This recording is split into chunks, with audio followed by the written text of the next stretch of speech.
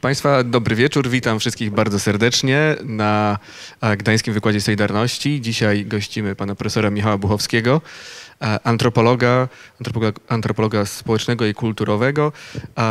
Pan profesor Buchowski wykłada na Uniwersytecie Adama Mickiewicza w Poznaniu, jest dyrektorem Instytutu Etnologii i Antropologii Kulturowej, jest także prezesem Polskiego Towarzystwa Ludoznawczego, a także piastuje Katedrę Porównawczych Studiów Środkowoeuropejskich na Wydziale Kulturoznawstwa Europejskiego Uniwersytetu Wiadrina we Frankfurcie nad Odrą. Jest e, autorem wielu publikacji dotyczących transformacji w Polsce, dotyczących e, zagadnienia postsocjalizmu, a, także e, kwestii związanych z migracjami, ponieważ jest także dyrektorem Centrum Badań Migracyjnych na Uniwersytecie Adama Mickiewicza w Poznaniu jest również tłumaczem e, prac e, m.in. Michaela Hersfelda i Edmunda Licza.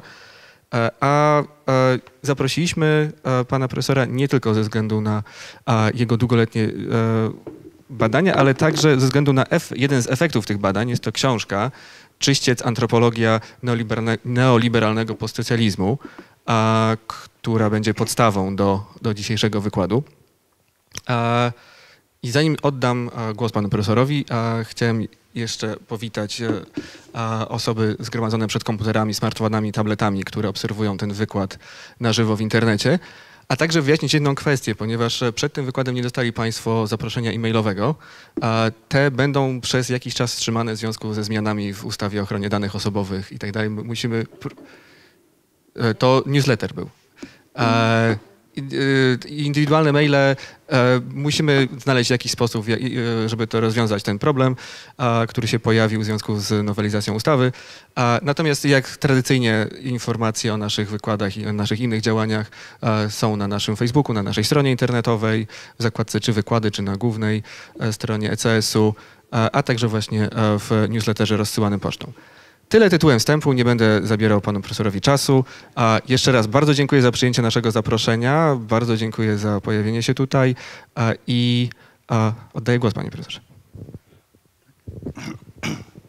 E, dobry wieczór. Przede wszystkim dziękuję organizatorom za zaproszenie. Naprawdę czuję się wyróżniony, zaszczycony, że jestem w takim miejscu i nie tylko historycznym, ale również miejscu, w którym wykładało tylu, tyle wspaniałych postaci i znanych uczonych. Nie wiem, czy dorastam im do pięt, niemniej e, spróbuję e, przedstawić kilka, kilka mm, tez na temat, który zawarty jest, jak Państwo widzą w, w tytule. Tak? Oczywiście używam moherowych beretów y, w, tego, tej nazwy w, w cudzysłowiu.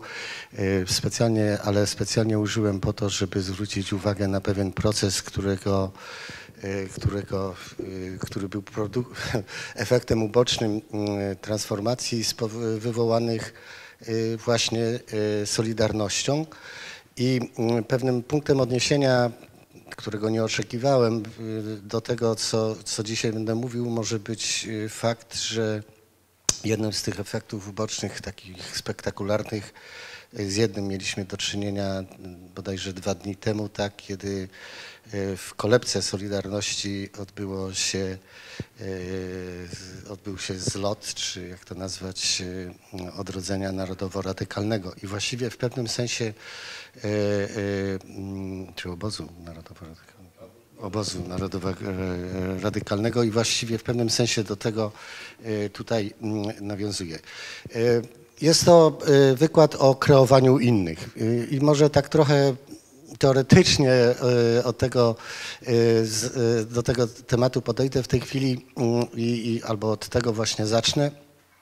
Chodzi o coś, co można by nazwać logiką albo gramatyką kreowania innego. Kreowanie innego jest y, naturalnym zjawiskiem społecznym, społeczno-kulturowym i nie ma w nim nic złego. Tak? Każdy z nas wie, że różni się od innej osoby jako grupa czy rodzina, różnimy się od innych rodzin, jako grupa różnimy się od innych i, i dopóki odróżniamy i traktujemy innych jako innych albo jako również obcych, to wszystko jest e, jak gdyby e, w porządku. Nasze życie, życie społeczne to jest bezustanny proces klasyfikowania. Tak? Jak idziemy ulicą też e, w pewnym sensie taksujemy ludzi, oceniamy i, i to po stroju, po zachowaniu, kim oni są. Także w tym nic złego nie ma.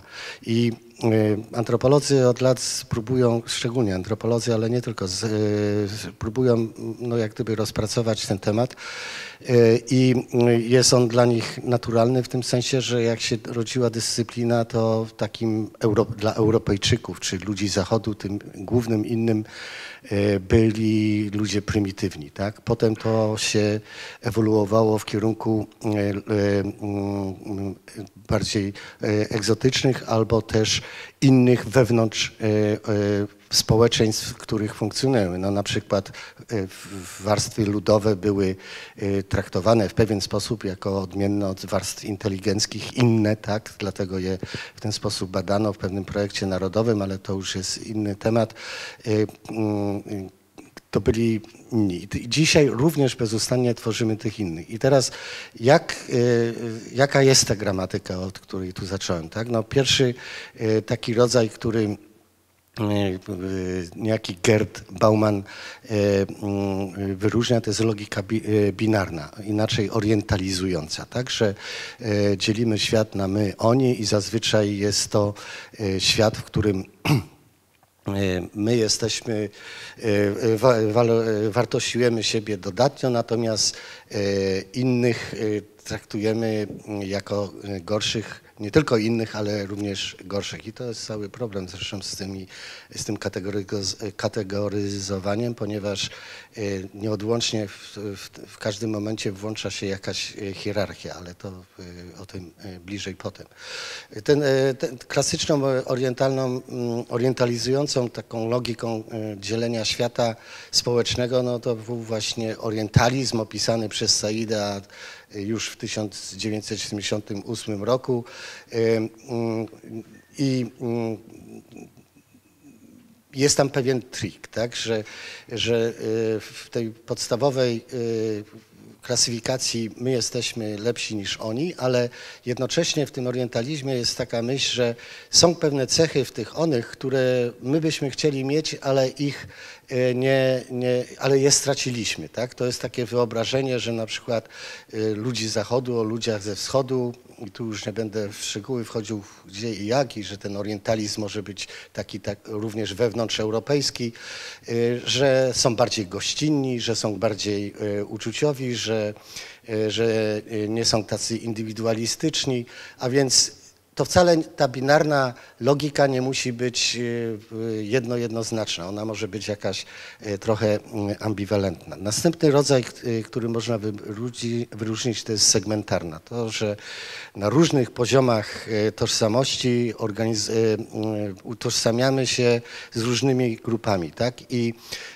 może być takim głównym podziałem to mogą być podziały e, kontynentalne wręcz, tak? a więc Orient i Okcydent, e, albo różne narody. I teraz e, w obrębie tych narodów mogą być różne grupy. Tu już nie będę mówił o grupach społecznych, albo w tej chwili nie będę mówił o grupach społecznych, tylko grupy regionalne, tak, że powiedzmy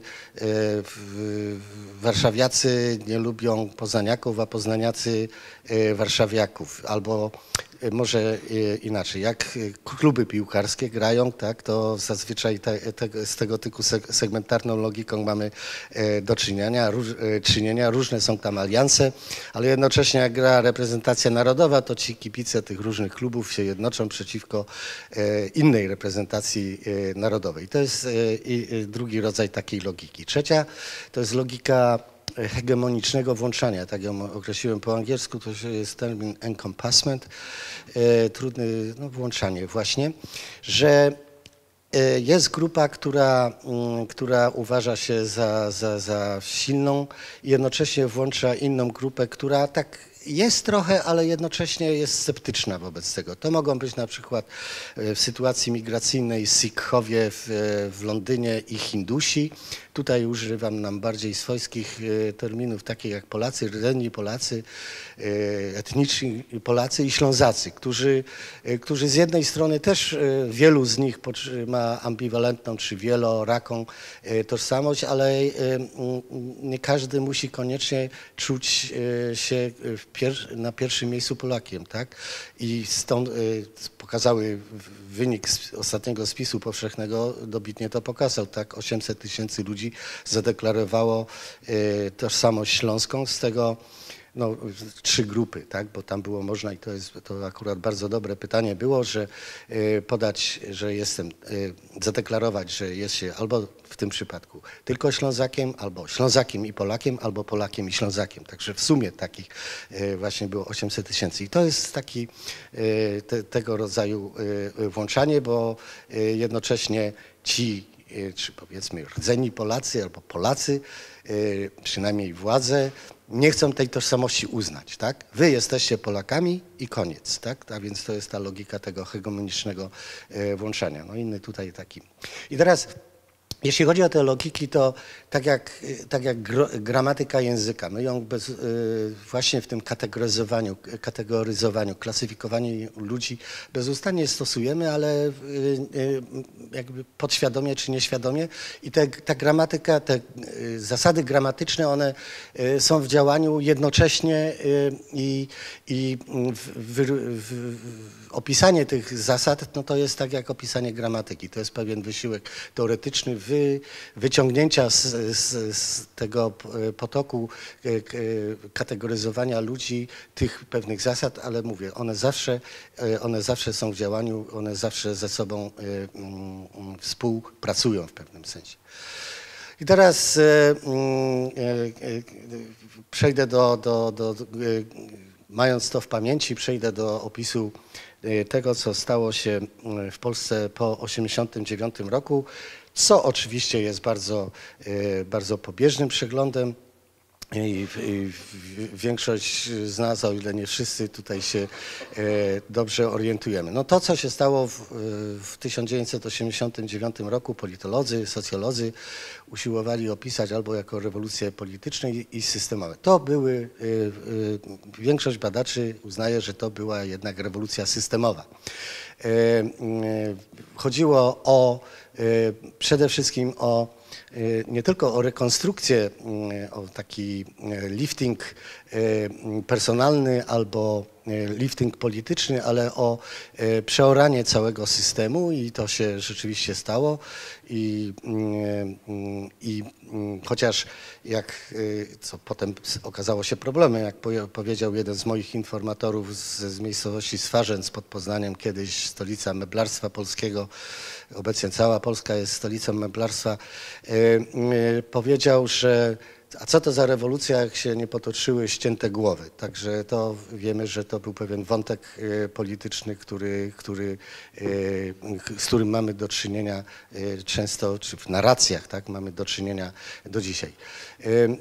Co, w, ważną cechą tej te rewolucji 89, po 89 roku była kwestia no nazwijmy ją postsocjalizmu. Postsocjalizmu, który moim zdaniem, być może nie tylko moim, okazał się pewną e, prowincją, nazwijmy to, e, ekspandującego e, neoliberalizmu. I to jest jedna z przyczyn, w ogóle uważam, że dlaczego tak jak postkolonializm stał się wielką teorią w naukach społecznych i humanistyce, tak postsocjalizm takiej roli jako ruch myślowy nie odegrał. A Między innymi uważam, stało się tak dlatego, że w sposób e, e, spontaniczny i akceptowany przez większość społeczeństw w tym regionie świata, e, no przyjęto, przyjęto właśnie te gotowe wzorce reformy ekonomicznej i politycznej i ten neoliberalizm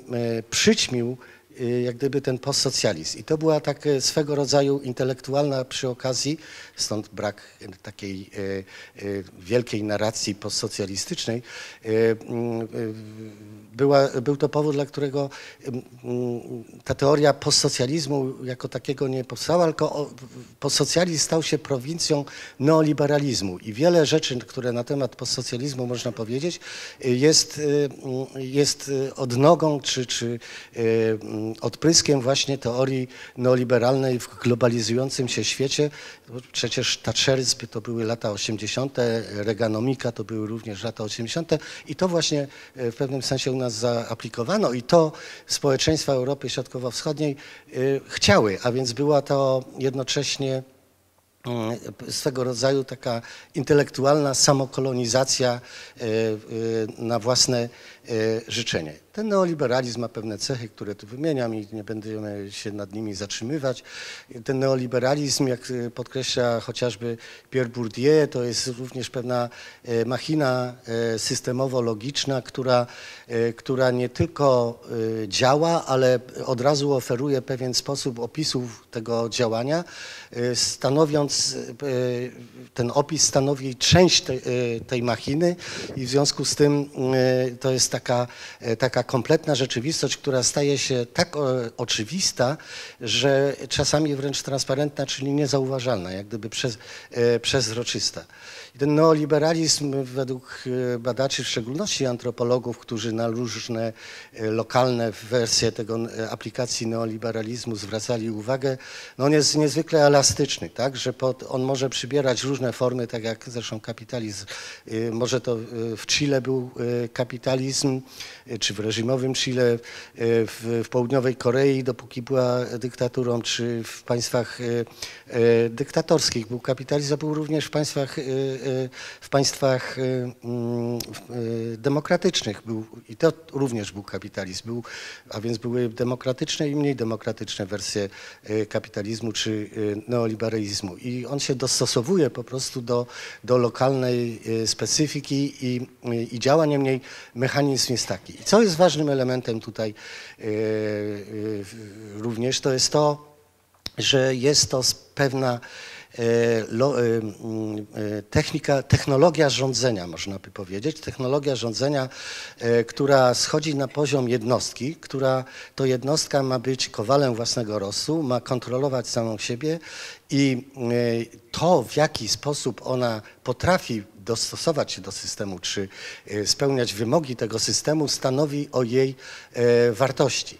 Jednocześnie, przynajmniej w systemach demokratycznych, on działa w sposób, który uczenie się określa jako kapilarny, a więc taki włoskowaty, moglibyśmy powiedzieć, że, że to nie jest, to, to, to innej metafory użyję, tak, że jeżeli są systemy na przykład jakim był e, niedemokratyczny, e, e, czy mało demokratyczny, albo autorytarne, że to są rządy żelaznej ręki, tak tutaj to jest aksamitna rękawiczka, że to się tak dzieje jakby gdyby w sposób niezauważalny i jednocześnie sami my stajemy się podmiotami, podmiotami tego neoliberalizmu, akceptujemy jego zasady i w nie, tylko je w nie się wpisujemy, ale sami je urzeczywistniamy. Tak? To jest właśnie na tym ta rządomyślność y, y, między innymi polega i na tym polega również wytwarzanie nowych ludzi.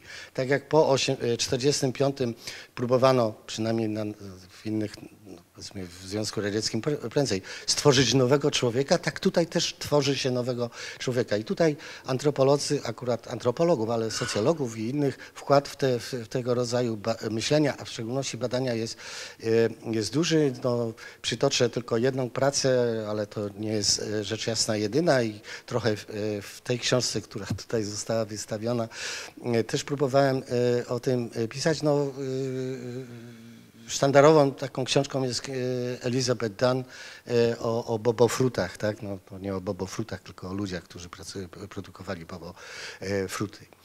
Raz Następny temat, one tak się trochę skumulują potem. E, na, na, temat socjalizmu i postsocjalizmu. Tak? Jeżeli, I tutaj wracamy w pewnym sensie również do tej logiki. Jeżeli było w, w czasach przed 89 rokiem, powiedzmy do lat 90.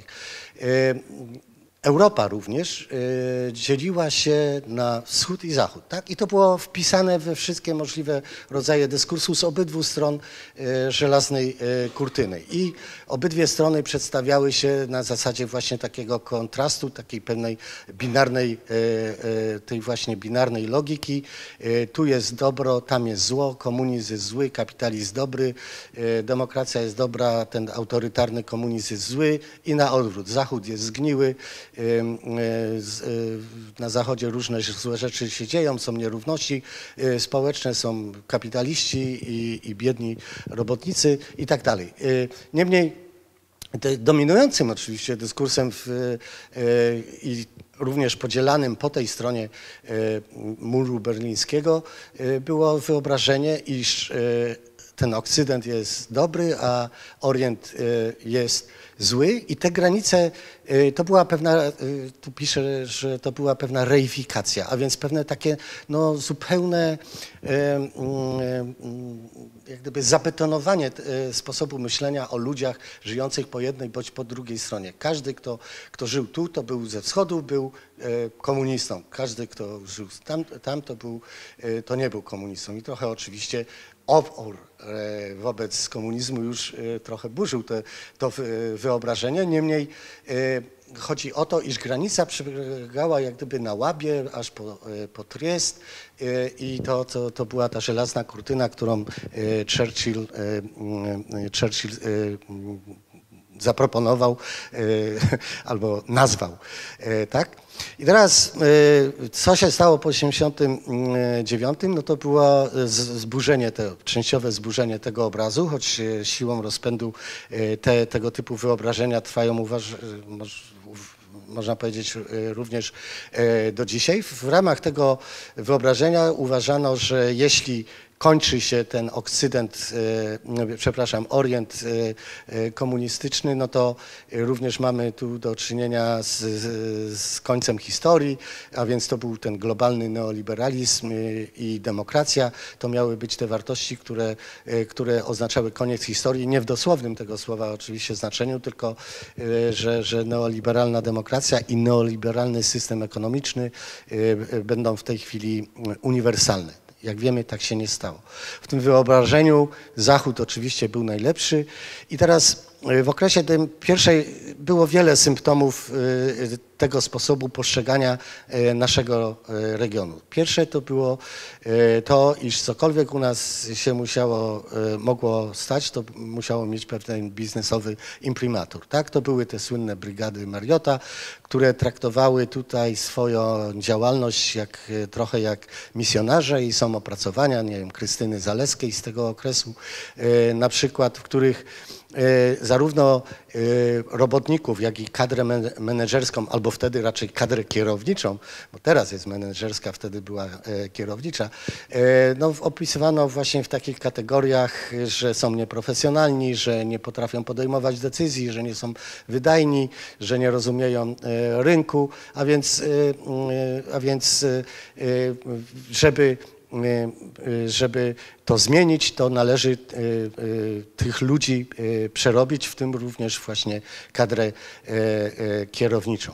I to miało, oczywiście to miało pewne poziomy, bo właśnie w ten sposób, o czym na przykład Dan pisze, traktowano, ta kadra kierownicza czy kadra menedżerska traktowała polskich robotników, a więc to była pewna gradacja. My byliśmy postrzegani przez te tych ludzi z Brygad Mariota i nie tylko, y, jako, jako, y, jako postkomunistyczni, a y, elity tych postkomunist, społeczeństw postkomunistycznych traktowały z kolei robotników jako w ten sam sposób, jak oni sami byli traktowani przez, przez tych misjonarzy neoliberalizmu. I teraz tych, e, te, te, te, te, dyskursy się rzecz jasna przyplatały i e, ja tutaj mm, e, przytaczam kilka kategorii, kilka. W, w książce zebrałem ich 40 tak? na zasadzie e, właśnie takiej binarnej logiki e, i opisu rzeczywistości socjalistycznej i kapitalistycznej. To te kategorie, które tu przytaczam akurat pochodzą od e, znanego polskiego, międzynarodowo znanego polskiego socjologa Piotra Sztąpki, tak? I to było właśnie wszystko tak. Cynizm, realizm, nepotyzm, wydajność, kolektywizm, indywidualizm, egalitaryzm, elityzm, mistycyzm, poczucie bezpieczeństwa.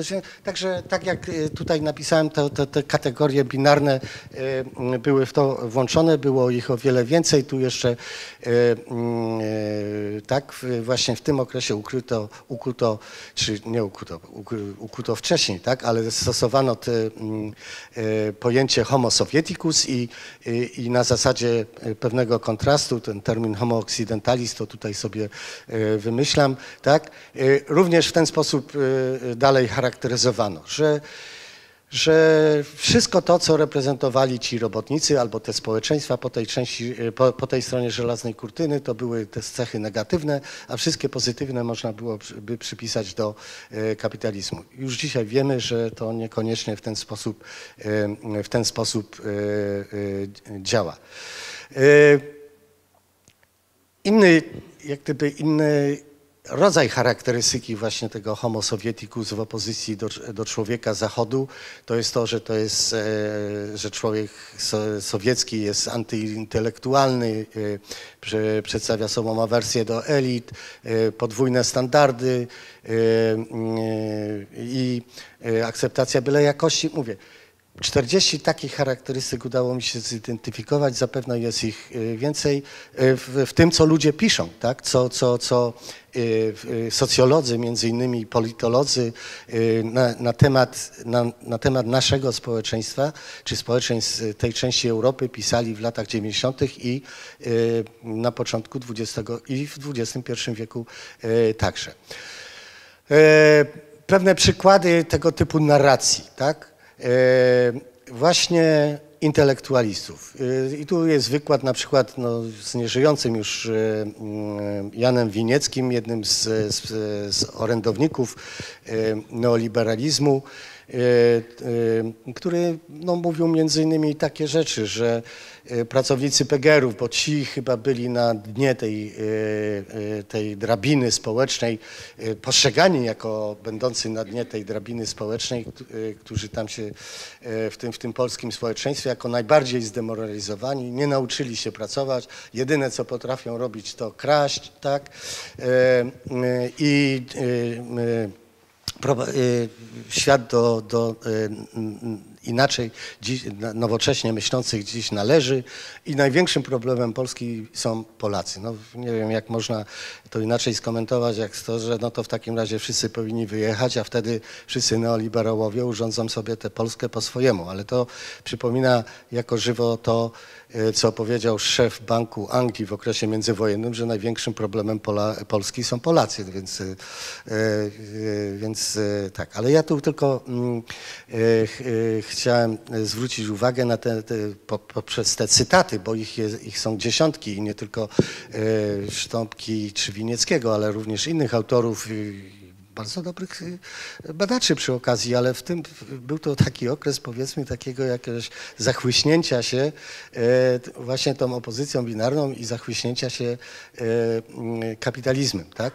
E, Tutaj mamy takie pojęcia, szczególnie podkreślam je przez kursywę, że kapitalistyczna normalność. Tak? Zapytamy się, co to jest kapitalistyczna normalność? Ta, ta, e, ta z południowej Afryki, czy ta e, z, z Luksemburga, czy może ta z, z Korei, a może ta z dzisiejszego właściwie Wietnamu. To jest pojęcie lumpen proletariatu, a więc ludzi, którzy Marx w XIX wieku pisał o ludziach, którzy nie mieli żadnych wartości, E, e, i mm, e, byli po prostu w pewnym sensie wyrzutkami społeczeństwa wczesnego kapitalizmu na wyspach, w szczególności na wyspach brytyjskich. Tak? I to były bardzo powszechne poglądy.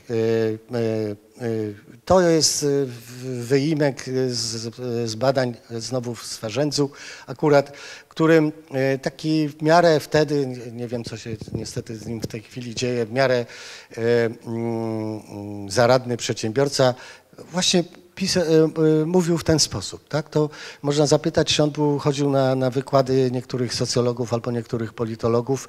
E, nie, on nie musiał chodzić, bo to, to pisano we wszystkich, pisano w prasie, to można było, z tym można było się spotkać na co dzień w mediach. I, oj przepraszam, za szybko jadę i to jest właśnie e, problem, na który zwracam, e, chciałem, e, pierwszy punkt, który, na który chciałem zwrócić uwagę, że w tym procesie transformacji po, tej, po zwycięstwie Solidarności wytworzono nowego innego. I teraz wytworzono nowego innego na zasadzie orientalnej pewnie, e, takiej orientalizującej, z tym, że to nie, było, to nie był orientalizm, który szukał tego orientalnego na dalekim bądź bliskim wschodzie. To był orientalizm e, wewnątrzgrupowy, to był orientalizm społeczny, wręcz swego rodzaju e, rasizm społeczny. Dlaczego ja używam słowa rasizm społeczny, to za chwilę stanie się jasne. Dlatego że stworzono innego, z tym, że tym innym, e, tym kimś innym nie są, te, te, te, te, podziały na swoi i obcy nie przebiegały już wzdłuż linii geograficznych, ale wzdłuż linii podziałów społecznych wykreowanych przez orędowników e, właśnie e, transformacji. Jest to coś, co można nazwać socjologicznym orientalizmem postsocjalistycznym, tak? A więc nierówności społeczne postrzega się przez, tę, e, przez pryzmat tej hegemonicznej e, e, ideologii neoliberalnej, która zakłada te, te, te, te wartości takie jak indywidualizm, to, że każdy jest kowalem własnego losu, jak sobie pościelesz, tak się wyśpisz, ograniczenie państwa socjalnego, że to, co kiedyś e, lokowano e, przestrzennie, obecnie się lokuje w przestrzeni społecznej. Nie trzeba jechać właśnie na, nie wiem, żeby szukać prymitywa, przepraszam za, za to słowo, nie trzeba jechać do, na wyspy Torobrianda, czy tak jak jeździli kiedyś w XIX wieku antropolodzy, tylko wystarczy jechać do miejscowości, w których pozamykano zakłady pracy albo do byłych PGR-ów i tam tam y, ci reprezentujący te same cechy przypisywane ludziom Orientu, y, ludzie y, reprezentują tu, tu i teraz, tak? I logika myślenia, logika kreowania tego innego jest dokładnie taka sama, jak była ongiś, kiedy kreowano człowieka leniwego, nierozgarniętego, prymitywnego, nie wiem, Afrykanina, i y, tak teraz wykreowano, y, a w okresie y, wyobrażenie o ludziach z socjalizmu było takie, jak mieli misjonarze, ci misjonarze kapitalizmu, o których przed chwilą mówiłem. Tak teraz mamy tu do czynienia z takim kreowaniem tego innego wewnątrz społeczeństwa, ale na tej samej zasadzie i wręcz poprzez przypisywanie podobnych cech. I to jest to jest e, proces, w który wpisane są relacje władzy i dominacji, jak to się, to jest jedna z bardziej znanych fraz w tej chwili, ale że, że zwycięzcy jak gdyby określają sytuację i określają wartości i potrafią zdefiniować również przegranych, a więc tych przegranych zdefiniowano jako cywilizacyjnie niekompetentni. I to nie jest mój termin, to jest właśnie termin, który w literaturze socjologicznej tego okresu można spotkać, że ludzie tutaj po prostu byli cywilizacyjnie niekompetentni. Jeżeli oni są niecywilizacyjnie niekompetentni, to w takim razie oni są sami sobie winni, w myśl zasady, że przecież każdy jest kowalem własnego e, losu. A więc to jest typowa taktyka czy strategia e, e, obwiniania, e, obwiniania ofiar e, pewnych strukturalnych zmian, które e, zachodziły, bo bo mówienie, iż y, skoro nie, nie nosiłeś teczki, to teraz powinieneś nosić woreczki, ale sorry, y, w tej chwili nie ma już jakich woreczków nosić, więc sam sobie jesteś winien, winien. No to, to jest do, do, dosyć prosty zabieg, który pomija właśnie pewne e, strukturalne e, t- transformacje, strukturalne uwarunkowania, które sprawiają, że na przykład ludzie, e, którzy przez dwa pokolenia żyli w pewnym e, systemie i w którym dobrze sobie radzili, e, nagle znaleźli się e, w, w obszarach strukturalnego bezrobocia sięgającego gdzie niegdzie 40-50%. No i, e, i, i, i prosta recepta, że możesz przecież sobie gdzieś pojechać, e, zostawić rodzinę, być mobilny, e, jak nakazuje mm, jedna z zasad współczesnego świata, no to, to, to sobie przecież dasz. I zresztą po pewnym czasie ludzie to zrobili. Dwa miliony wzięło i pojechało na zachód. I to były głównie takie elity, które określam prozachodnie. Ja nie mówię, że to jest, to było z gruntu złe tego typu postawa, ale e, brak tej socjologicznej, socjologicznego myślenia i tej socjologicznej świadomości jest tutaj widoczny. I tu takie e, stawianie się w opozycji, że my tutaj jaśnie oświeceni, a tam te ciemne masy, e, to, e, to one były powszechne. I tutaj e, przytaczam taki cytat, tak, który mówi, który mówi o, o tym, że już w momencie przewrotu pojawiły się intelektualne, naukowe, artystyczne i opozycyjne elity, kosmopolityczne i prozachodnie, które jeszcze za czasów komunizmu przyjęły wyobraźni, marzeniach i ambicjach normy wolnego świata i obroniły się przed syndromem homo sovieticus. Tak? Byliśmy my tu orędownikami już, nawet jak byliśmy członkami partii, to byliśmy takimi orędownikami. I to jest e, e, jaka krytyka społeczna? No jest to właśnie taka dychotomiczna logika, zwana też fabularyzowanym e, dualizmem. E, pozbawia się ludzi podmiotowości, bowiem e, e, sposób reagowania tych ludzi od razu kategoryzuje się jako nieadekwatny, czy, a więc są cywilizacyjnie niekompetentni i e, oni są tylko przedmiotami jak gdyby tych procesów i albo się dostosują, albo się nie dostosują. Natomiast sposób, w jaki ludzie reagują, zwykli zjadacze chleba, jak to się określa, e, reagują na to, jest sposobem realizacji urzeczywistniania tego systemu. To nie kto inny urzeczywistniał ten system i te nowe zasady, jak sami ludzie, tak? bo ani kultura, ani to, y, praktyka społeczna nie istniałaby bez nas, a więc nie istniałaby bez tego, co my robimy, a więc to ci ludzie y, to robili. Zresztą przy okazji, skoro społeczeństwo było takie homo sovieticus, to co, no, kto, kto zro, dokonał tej rewolucji? No właśnie ci homo sovieticus się okazuje, to ci stoczniowcy tutaj, doko, y, ci homo sovieticus dokonali tej e, e, rewolucji. E, I teraz, skoro to pokolenie homo sovieticus było takie beznadziejne, to a jednak dokonało rewolucji i teraz y, y, y, widnieją na horyzoncie takie wspaniałe perspektywy, no to jednak to pokolenie homo sovieticus te perspektywy przygotowało.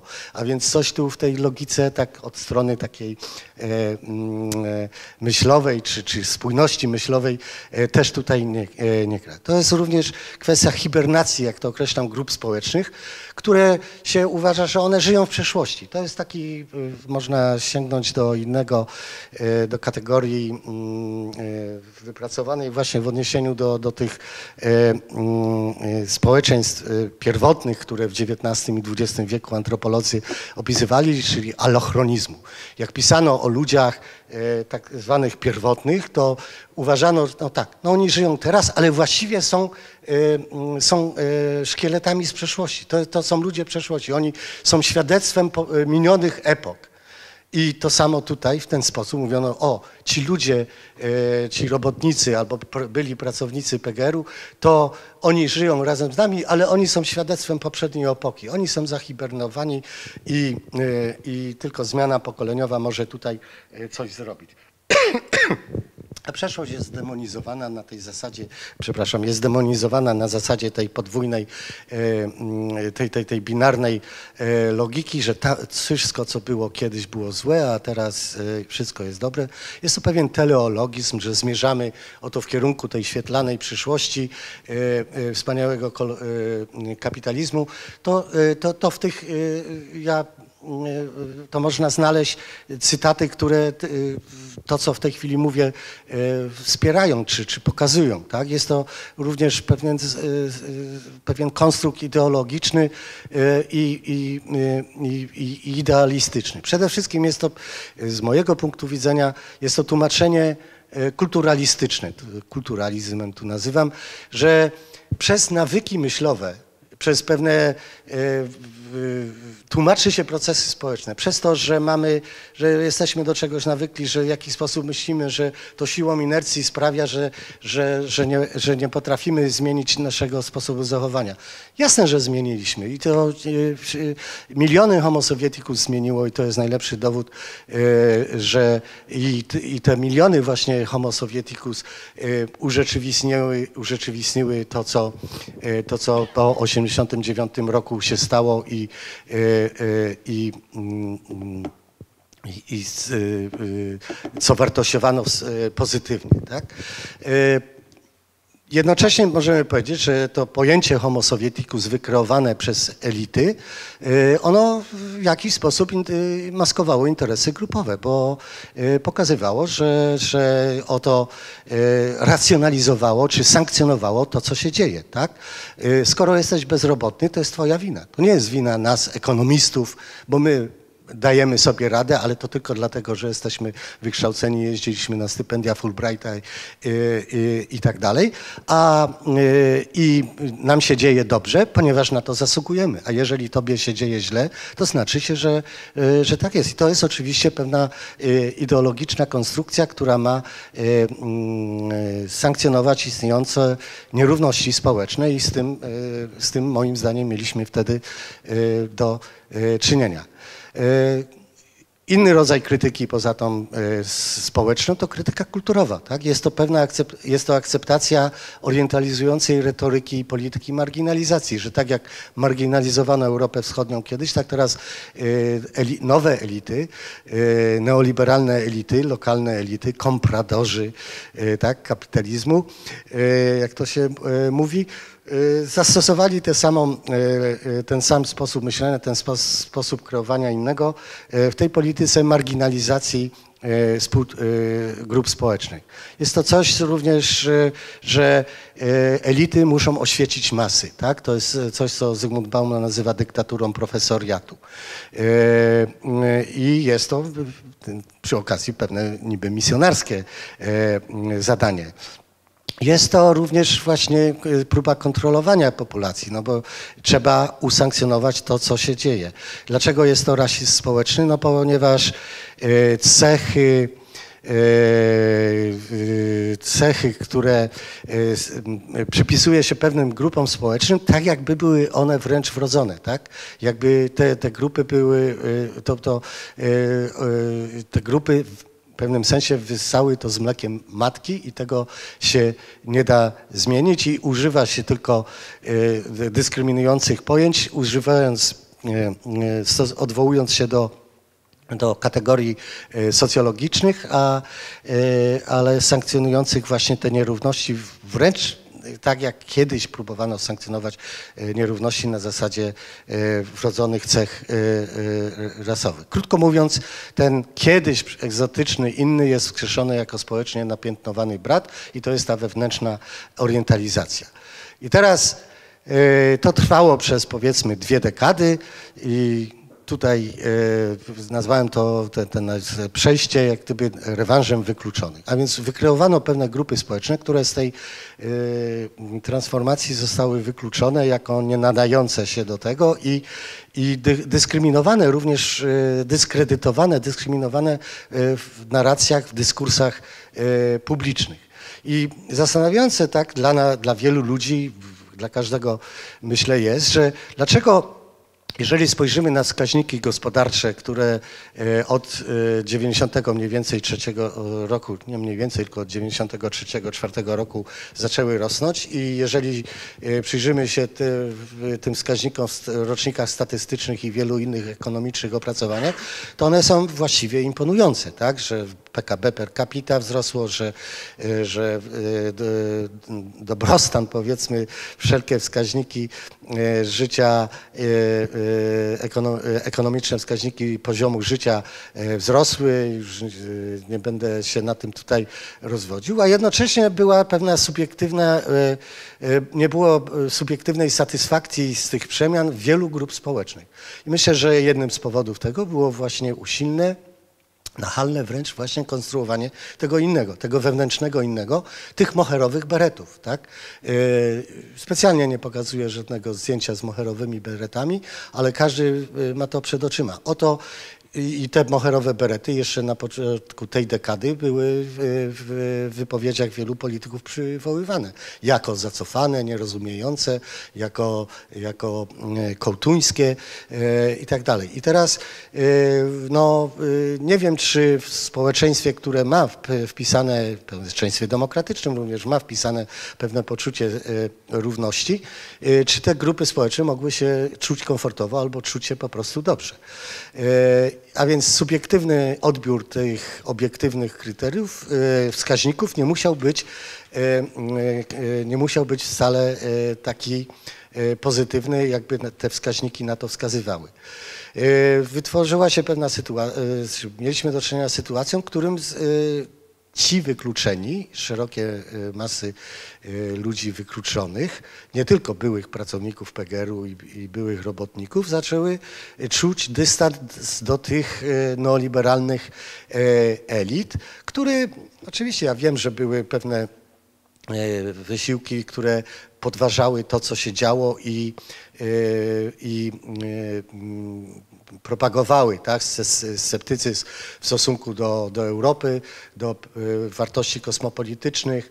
Y, wiemy, iż, iż, iż ponieważ do dziś ma, możemy się z tym spotkać, tak, że Europę przedstawiano jako swego rodzaju z, zgniły, ciągle jako zgniły Zachód, jako Babilon, jako upadek moralności, jako region, to do dzisiaj, jako część świata, który trzeba rechrystianizować, E, tak?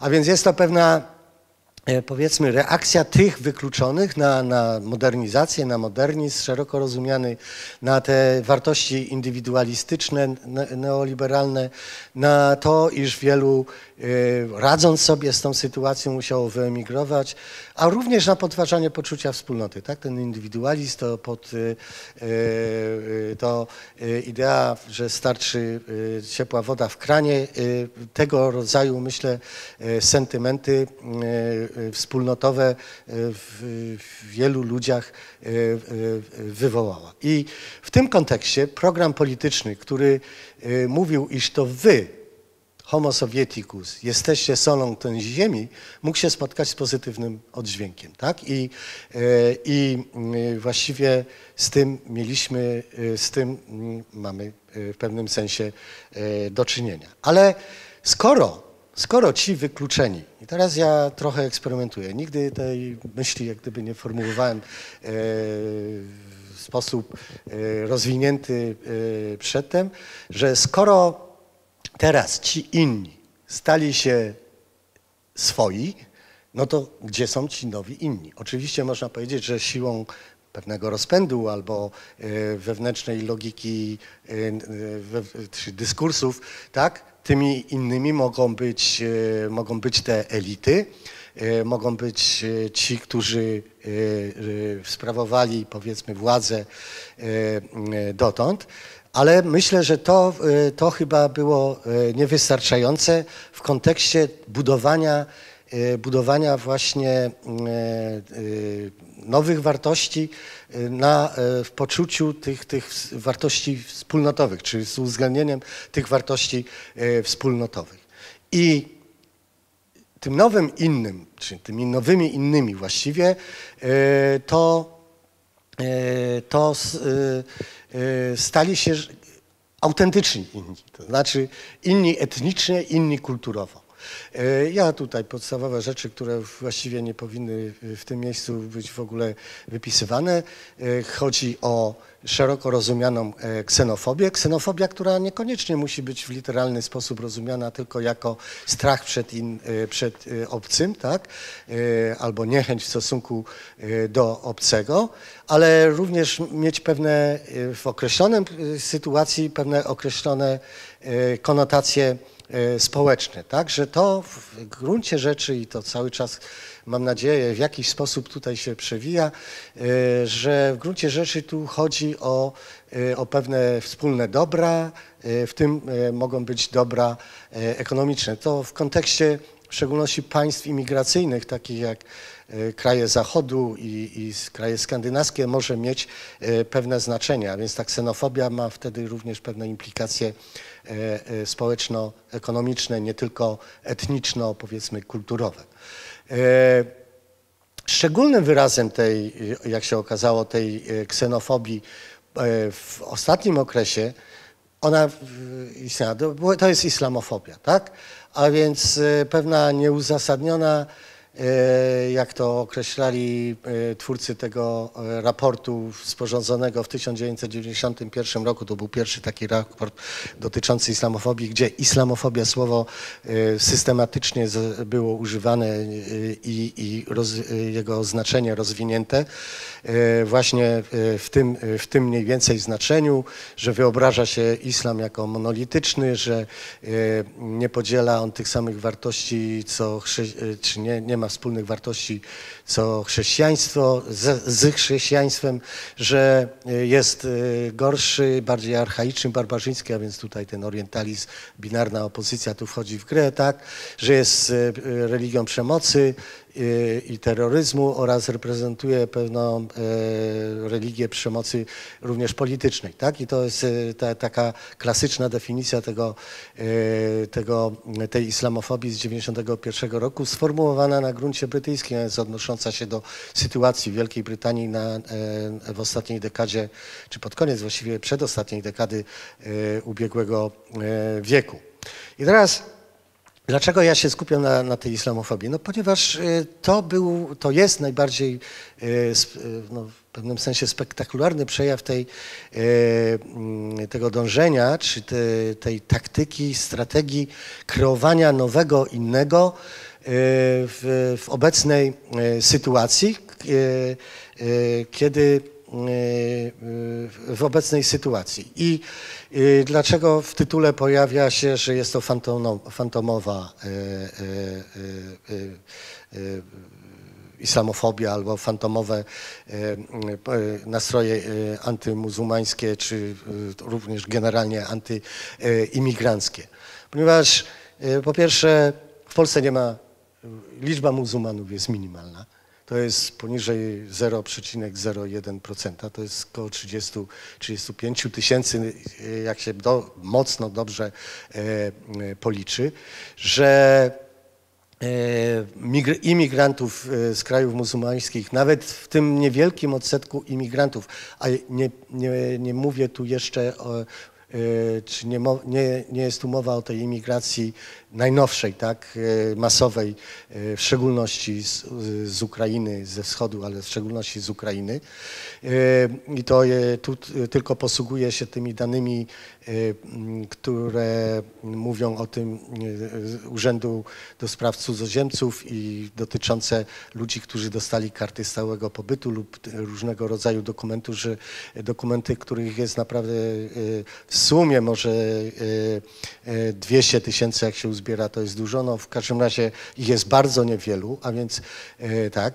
Niemniej to nastawienie do tych, mimo że jest tych muzułmanów tak niewielu i, e, i nie ma e, fali uchodźczej, żadnej fali uchodźczej, czy ona nie dotarła do, z pewnością do Polski, to nastawienie do nich jest, do muzułmanów jest bardzo negatywne, e, co jak widać, i tu posługuję się socjologicznymi danymi, które zawsze trzeba e, no, dyskutować, żeby dobry obraz uzyskać, wnikać. Nastawienie do nich jest zupełnie inne niż do wyznawców innej religii, o wiele bardziej wrogie. I teraz co, co jest intrygujące w tym, co się stało po tym e, 12 12, 15, a w szczególności 15 roku.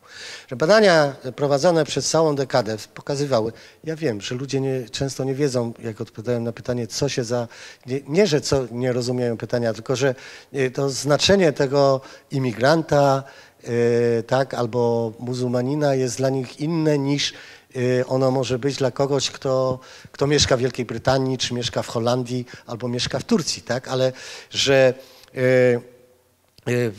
w każdym razie te, te, na szeroką skalę w dwudziestu kilku krajach prowadzone badania pokazały, że Polacy w, w, pierwszej dekadzie tego stulecia byli najbardziej proimigracyjnym społeczeństwem. Znaczy na pytanie, czy powinniśmy, e, czy powinniśmy się bać, albo czy powinniśmy przyjmować, e, czy powinniśmy się bać imigrantów, odpowiadali, że nie i że powinniśmy przyjmować imigrantów bardziej niż Szwedzi, a o wiele bardziej niż Niemcy, którzy byli na, na trzecim miejscu.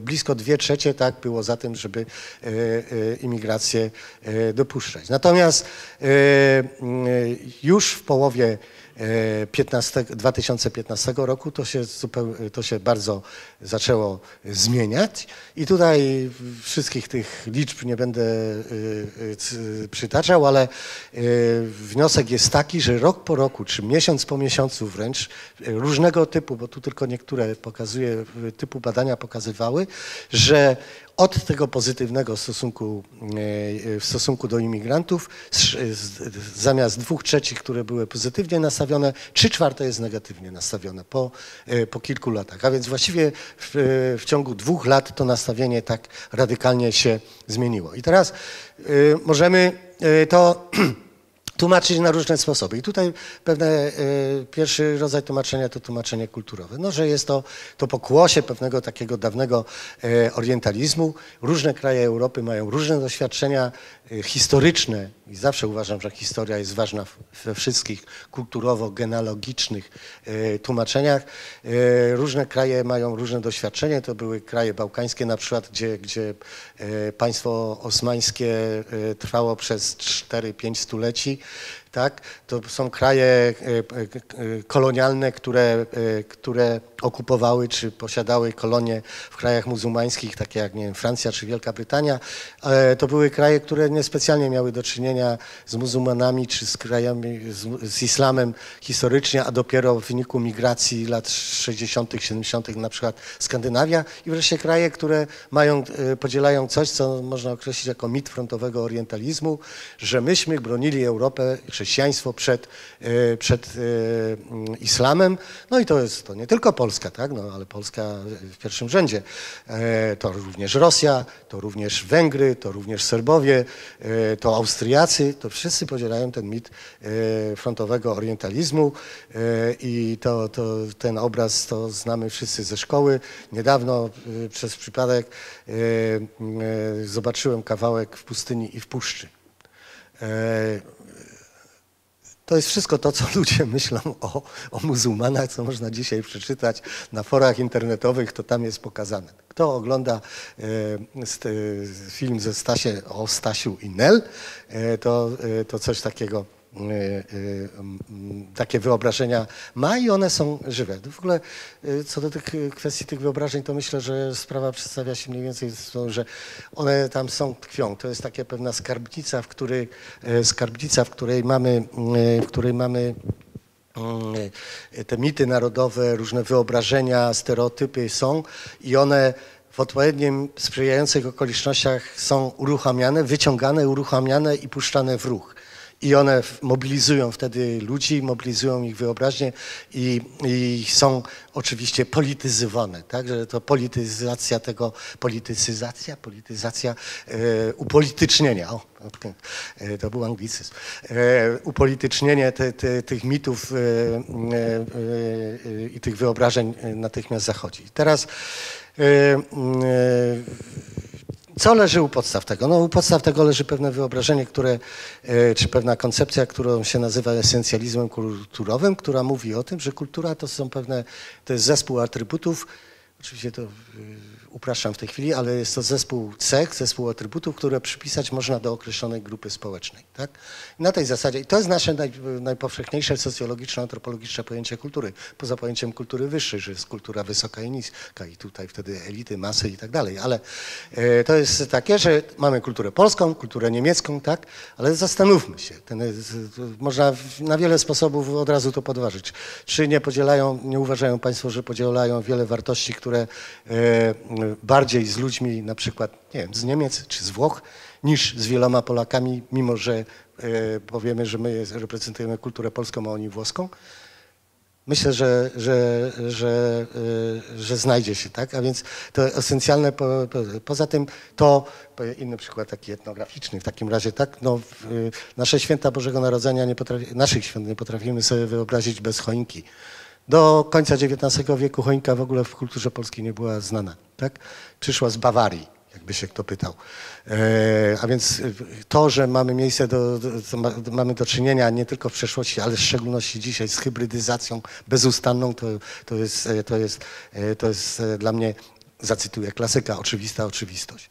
E, I e, e tak jeśli bym sobie w jakikolwiek sposób używał w ogóle pojęcia kultury i w jakikolwiek sposób wyobrażał, to jest takie kłębiące się na niebie chmury, które bezustannie wędrują i się mieszają, a, y, albo fruwające motyle, a to esencjalistyczne pojęcie kultury y, przyszpila te, y, tego motyla to w gablocie i mówi, o to jest ta kultura, ona taka jest. I teraz jakiekolwiek naruszenie tej kultury to jest dla niej zagrożenie. A więc kultura jest uważana jak coś realnego i to prowadzi właśnie do takich wyobrażeń, którymi w tej chwili w Europie, nie tylko w tej chwili, ale w szczególności w tej chwili one się uaktywniły w Europie, w całej Europie i nie chcę egzotyzować tej Europy Wschodniej, ale z czym mamy do czynienia? To jest coś, takie, co mówi, że tak jak kiedyś legitymizowano nierówności między ludźmi za pomocą cech rasowych i ostatnim takim E, tragicznym wyrazem tego był oczywiście nazizm z jego rasistowską ideologią. Tak teraz, ponieważ rasizm jest zdyskredytowany, choć oczywiście wiemy, że są miejsca, w których można rasistowskie teksty wygłaszać i nic się e, nie dzieje, na przykład o tym, że ludzie z innych kultur niosą choroby, e, że ten rasizm w związku z tym się mówi, że nie, nie, y, ja nie mam nic przeciwko muzułmanom, ale lepiej, ale oni mają inną kulturę. Ta kultura nie pasuje tutaj, tak? Y, że przekłada się pewne dawne terminy y, rasistowskie, w pewnym sensie rasowe, dyskryminacyjne na, kultur, na kulturowe. A kulturowa jest, kultura jest pozytywnie waloryzowana. Każdy ma prawo do swojej kultury. To jest, całe, to jest w tej chwili cały ruch, tak, czyli w ogóle in, przemysł dziedzictwa kulturowego. I, i to, to, to realist, u podłoża którego leży to realistyczne, reifikujące pojęcie e, kultury, które jest stosowane przez wszystkich, nie tylko przez dominujących, ale i zdominowanych. Mniejszości też bronią swojej kultury przed większością i mówią, my mamy do tego prawo, bo to jest nasza kultura. My mamy prawo, w naszej kulturze kobieta siedzi w domu i gotuje, a mężczyzna yy, idzie do pracy, zarabia na chleb i, i tak jest i wy się do tego nie wtrącajcie. To jest nasza tradycja. Tak? Yy, i teraz y, y, najbardziej radykalnym pojęciem w tym wszystkim jest pojęcie fundamentalizmu kulturowego, które mówi o tym, że nie tylko kultury są różne, w związku z tym lepiej, żeby były osobno i to jest, ja to nazywam apartheidem kulturowym, y, ale że one są nieporównywalne, nieprzysywalne, niewspółmierne i z natury wrogie sobie. A więc y, fundamentalizm kulturowy mówi nie dla obcych, tak? bo racjonalizowany w tych terminach e, kulturowych.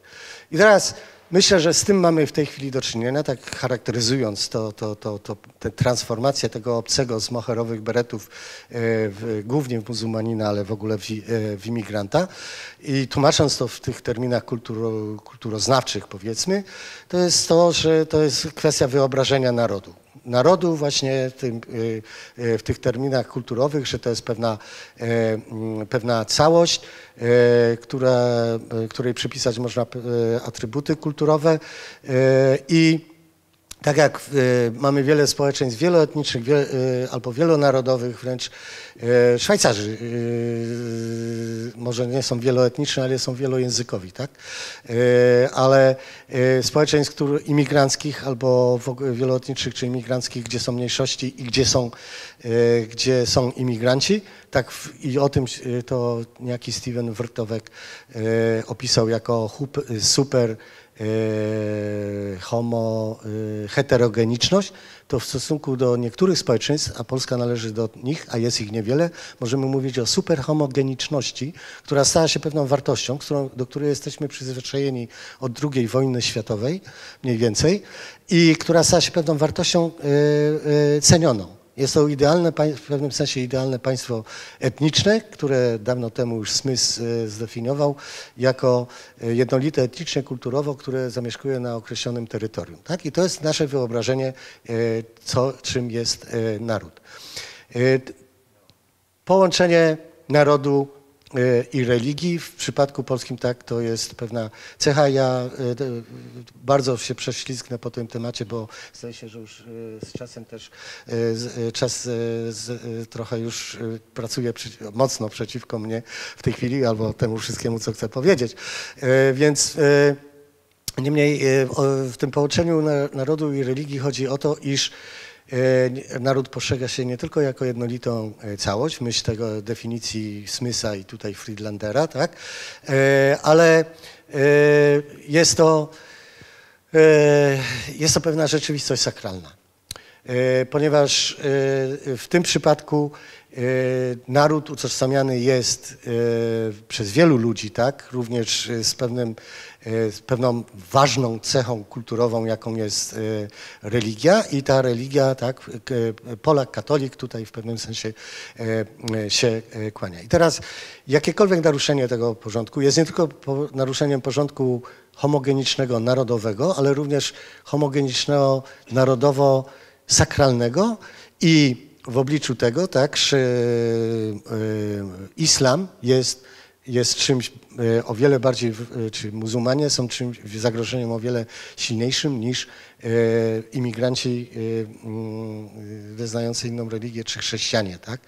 E, I tutaj ciekawe, bo, bo, bo e, również na Zachodzie wielu ludzi, którzy są ateistami, czy w ogóle nie, religia nie gra dla nich znaczenia w tej chwili, kiedy mówią, że e, czy nie, AfD, tak, Alternative für Deutschland i, i, i Le Pen e, e, we Francji, że musimy bronić chrześcijańskiej Europy, tak. I nagle chrześcijaństwo staje się pewną wartością, e, wartością e, kulturową. I wtargnięcie muzułmanów po prostu zagraża tej e, jedności. No i to jest ta mit rechrystianizacji. Podobno już nie jest to e, najwyższa figura e, na świecie. W Peru e, wzniesiono ponoć, tak czytałem, o 3 metry wyższą. E, A więc to jest kwestia tej e, sakralizacji e, e, narodu. Przepraszam. Ups.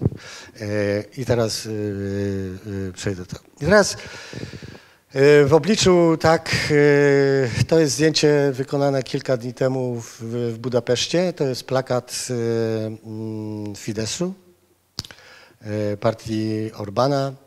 E, Co ciekawe, w- to tak zupełnie na marginesie, to samo zdjęcie zostało wykorzystane jak e, gdzieś tam daleko stąd. e, Miałem wygłosić e, e, referat właśnie o fobiach e, migranckich e, w Europie, ale w pozytywnym sensie, że, e, że ci migranci, ale dosłownie to samo zdjęcie, dlatego mi, dlatego mi to koleżanka posłała e, to zdjęcie. E, I teraz e, tak.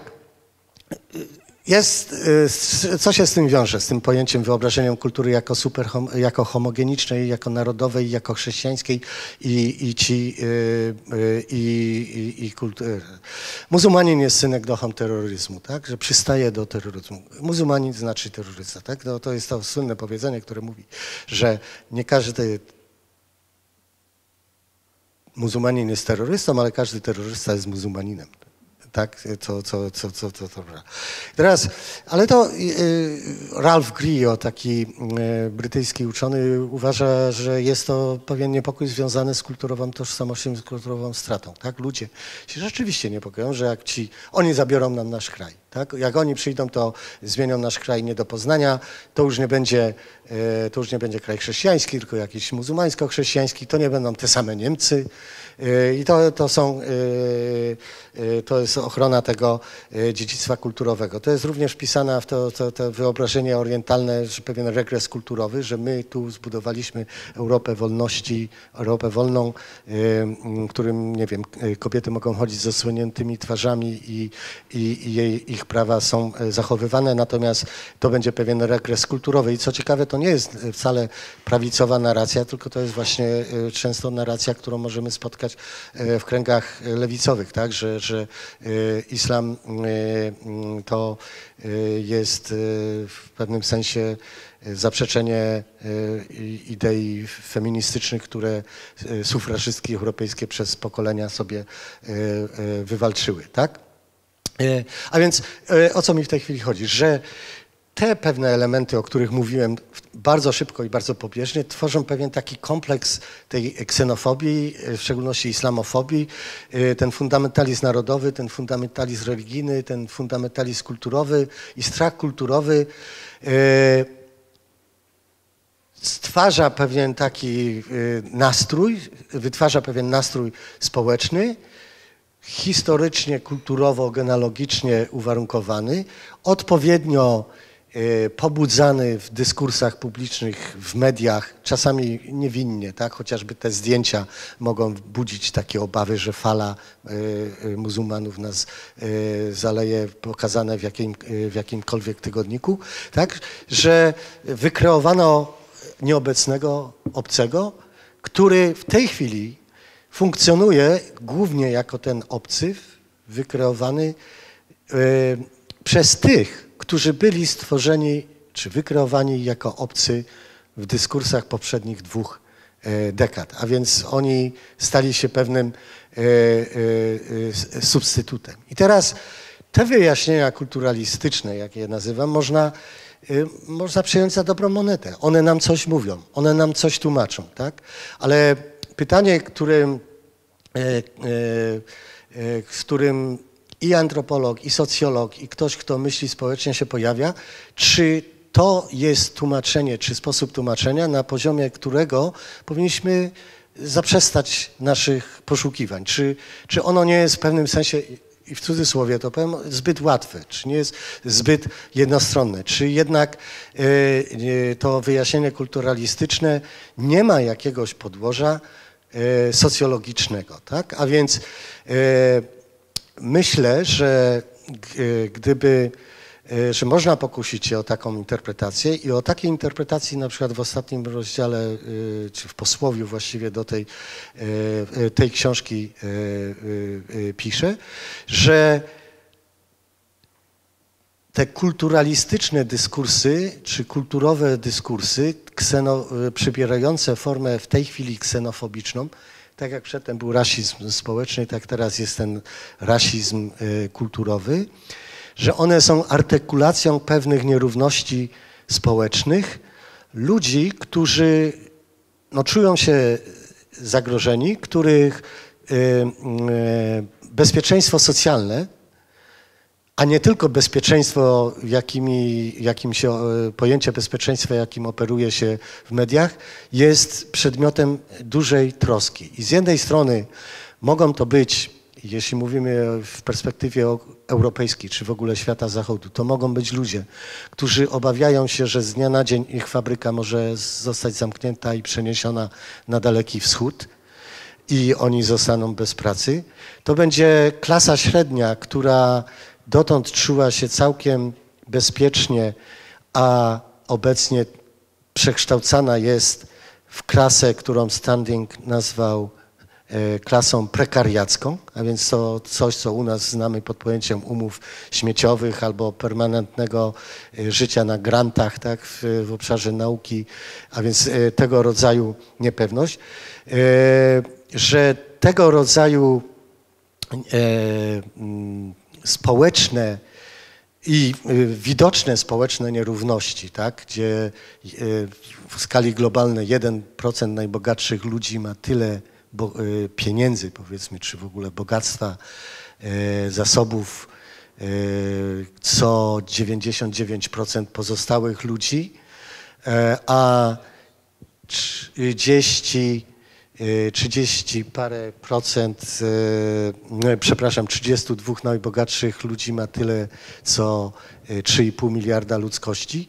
I to, to, to, to jak gdyby to jest ta, ta e, akumulacja, to co Harvey nazwał akumulacją kapitału w tym neoliberalnym, przez wywłaszczenie w tym neoliberalnym kapitalizmie, to, to ta prywatyzacja usług społecznych y, typu, nie wiem, wodociągi czy transport publiczny, wręcz y, y, usługi militarne, tak, że to wszystko powoduje, iż szerokie grupy, wiele grup społecznych czuje się niepewnych, wywłaszczonych i sposobem najprostszym wytłumaczenia tego no jest sięgnięcie, czy posłużenie się albo racjonalizowania tego jest sięgnięcie, posłużenie się tą racjonalizacją tego strachu kulturowego i poszukanie y, głównego, y, głównego kozła ofiarnego, najłatwiejszego kozła ofiarnego, czyli tych jest, y, czyli imigrantów. I to się, to się dzieje. Czy oni są realni, czy wyimaginowani, to już jak się okazuje może mieć pewnych kontekstach, takim jak polski, drugo, właściwie drugorzędne e, znaczenie.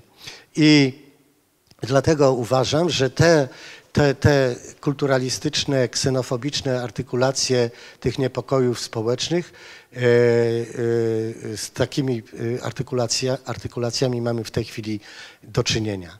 I pod, pod, podsumowując to i nawiązując do, do tytułu tej wystawionej tu książki, czyli Czyściec, to powiedziałbym tak, że mieliśmy przejść z, z socjalistycznego piekła przez czyściec transformacji do kapitalistycznego raju, a tymczasem się coś zawirowało i z, z tego czyśćca zastawionego piekielnymi madejowymi łożami e, nagle wylądowaliśmy w nowym piekle, z tym, że jeszcze gorszym, ponieważ piekle nacjonalistyczno-ksenofobicznym, który właściwie historycznie rzecz biorąc, jak się na to spojrzy, miał o wiele bardziej tragiczne skutki niż jakakolwiek inny rodzaj e, szukania, kreowania innego. Dziękuję bardzo.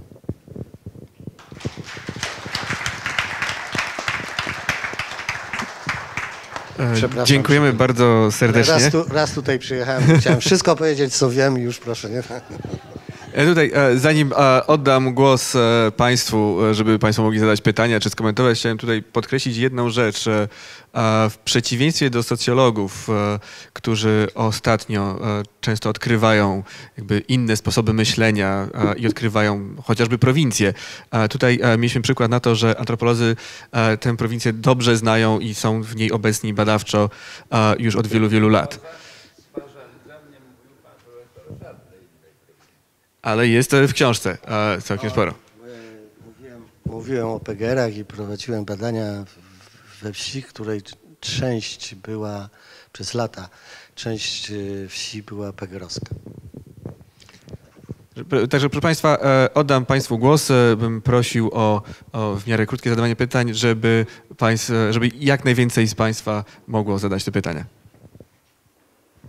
znowuż jednak zaprotestuję, bo sprowadzenie tego, co usłyszeliśmy do możliwości zadania krótkiego pytania, to jest dokładnie tak, że lepiej się od razu powiesić. E, e, przeleciał pan profesor e, taki obszar i tak zamącił to wszystko, że ja będę brutalny. A w jakim celu pan zajmuje się tego rodzaju badaniami i pisze pan takie fajne książki, bo to jest fajny tytuł y, i ładnie wydany, Czyściec. Y, na pewno go przeczytam. Bo gdyby być brutalnym, a będę, to powiem tak. Mm, y, ostatnio sformułowano w przestrzeni publicznej określenie mabeny. Maszyna bezpiecznej narracji. to ja sobie myślę, że Zybertowicz, jak przeczyta książkę, jeszcze posłucha pana profesora, to pomyśli, o to jest klasyczny przykład pożytecznego idioty, którego wykorzystam do cna, bo to da się przełożyć na takie wątki, jak zrobić bezpieczną narrację, która utrzyma po prostu władzę tego obozu, który władzę ma. I teraz już y, bez szyderstwa i, i na poważnie. Y, Bo właściwie taka refleksja generalizująca, jaka przychodziła mi do głowy, to ta, y, że to, co wszystko pan profesor powiedział, mówi jedno. Koniec tradycyjnej demokracji, koniec wszystkich rządów przedstawicielskich, wybieranych, odwoływania się do suwerena. O suwerenie e, pan mówił e, tym przeszłym. To była moja stocznia, ci moi robotnicy, e, o ile pamiętam, może się mylę, ale to zdaje się ksiądz Tischner wa, walnął homo sovieticus, prawda? E, I rola Kościoła w tym wykreowaniu tego pojęcia homo sovieticus w Polsce była znacząca. Pan profesor mówił, że do homo sovieticus e, stoczni mojej przewrócili tamten system.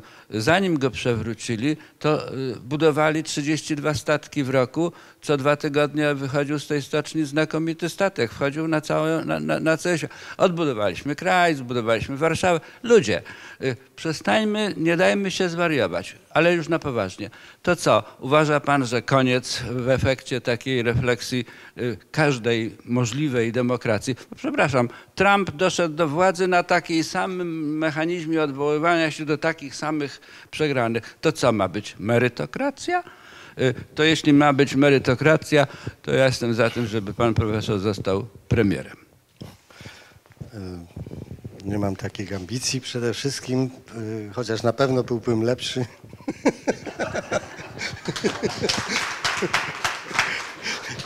Y, Czasami nie gadałbym różnych głupot. Nie mylił na przykład migrantów z uchodźcami, ale e, mm, odpowiem tak, y, co do y, celu tego pisania. Tak? Celem każdego e, krytycz, każdej krytycznie myślącej osoby jest e, pokazanie, moim zdaniem, mechanizmów, które kryją się za procesami wytwarzania pewnych nierówności, ich demistyfikacja. I jak ja mówię, używam terminu homo sovieticus, to ja nie, nie, ja nie podzielam tych poglądów na temat homo sovieticus, na temat, e, nie wiem, stoczniowców i ludzi mieszkających w PGR-ach, e, i tak dalej, tylko mówię o tym, co o nich pisano, więc o dyskursach, które ich wykreowały jako homo sovieticus. I w tym sensie ksiądz Tischner przyłożył swoją rękę do tego, żeby e, taką grupę ludzi dyskryminowanych, zdyskredytowanych e, wytworzyć. Celem takiego krytycznego e, to znaczy powiem tak, że jeżeli są tu pewne rzeczy, które w ramach Mabeny ktoś będzie próbował wykorzystać, to powiem tak, no jak e, oczywiście z z zachowaniem wszelkich proporcji, tak? Jak Curie Skłodowska odkrywała e, różne radioaktywne pierwiastki, to one mogą być wykorzystane tak albo inaczej i ona już za to nie odpowiada, że potem na Hiroshimę zrzucono bombę, tak? E, więc e, e, zadaniem moim było właśnie, właściwie jest obrona tych wszystkich, którzy moim zdaniem zupełnie niepotrzebnie zostali stworzeni jako inni i wykluczeni z pewnej narracji wspólnotowej. Tak? Powiedziano im, wy jesteście tym drugim sortem Polaków. I teraz i to z tym mamy do czynienia bezustannie. Tą samą metodę i, i powiedzmy, że to, co mówię o, co mówiłem o muzułmanach, czy o kreowaniu in, innych, innych obcych, innych, czy zewnętrznych innych, tą samą metodę z przyjemnością, jak będzie czas i siły, zastosuję w odniesieniu do tych dyskursów i tego sposobu kreowania innych, którymi mamy do czynienia teraz, które zresztą zauważmy, tak, że kreowanie tych innych ma na celu, na celu integrowanie, to jest zawsze, tak? Ludzie zawsze określają się w stosunku do innych ludzi. To ma y, y, na celu integrowanie własnego, własnej grupy, własnego środowiska i zauważmy, że ci nieszczęśni, nieszczęśni uchodźcy, ofiary wojny w Syrii, jak gdyby służą do kreowania również wewnętrznych innych, nowych wewnętrznych innych w tej chwili, będąc jak gdyby nieświadomym agentem tego kreowania. Bo teraz, jeżeli są ludzie, którzy mówią, że powinniśmy przyjmować tych uchodźców, to od razu są określani jako lewacy, romantycy, y, którzy y, nie są prawdziwymi patriotami, bo my tutaj chcemy budować prawdziwy, y, zwarty, silny, gotowy na wszystko naród i, i oni są użyci tylko, bo ich, jak mówię, realnie jest bardzo naprawdę niewielu, tak, są użyci do nowego sposobu dzielenia społeczeństwa i, i, i kreowania w tym wypadku nie homo sovieticus, tylko drugiego sortu. Tak? Także cel był antropologiczny, pokazanie jakie są tego mechanizmy i jakie przy okazji moim zdaniem, to jest oczywiście pewna wartościująca konstatacja, y, jakie niesprawiedliwości przy tym y, się działy i że to wcale nie było konieczne, to, ale to było uwarunkowane historycznie. No, wielu się zachłysnęło, ja nie mówię, że y, tym, co, co tą perspektywą zmiany i model był gotowy, y, tylko i trzeba było ten model sankcjonować i sankcjonowano go właśnie w ten, między innymi poprzez tę narrację, że zrywamy z przeszłością i ten, kto nie zrywa albo nie potrafi zerwać, no to jest przepraszam, sam jesteś sobie winien, tak? albo sama jesteś sobie winna. Przepraszam, jeśli nie na wszystko odpowiedziałem, ale przykłady działania Mabeny mamy. E, nie no, po, po, na przykład stosunki międzynarodowe. E, Jacek Kołtan, ECS. Ja jestem ciekaw, znaczy, chciałem też zapytać o, o Józefa Tischnera, na ile podejmuje pan faktycznie te wątki, które pojawiły się w latach 90. w Tischnerowskiej filozofii społecznej Homo Sovieticusa. Ja mam poczucie, że one, że, że mm, jego analizy ucieczki od wolności Polaków w latach 90. nie wyłącznie dotyczą naznaczania tych, którzy nie radzą sobie z, tym, z tą formą neoliberalnej wolności, że jest tam wiele subtelności, które znaczy, stawiają Tischnera w zdecydowanie ciekawszym świetle aniżeli naznaczając go na tego, który ukuł pojęcie samowieticus, naznaczając ludzi, którzy nie poradzili sobie z tym rzuceniem w neoliberalny świat kapitalizmu.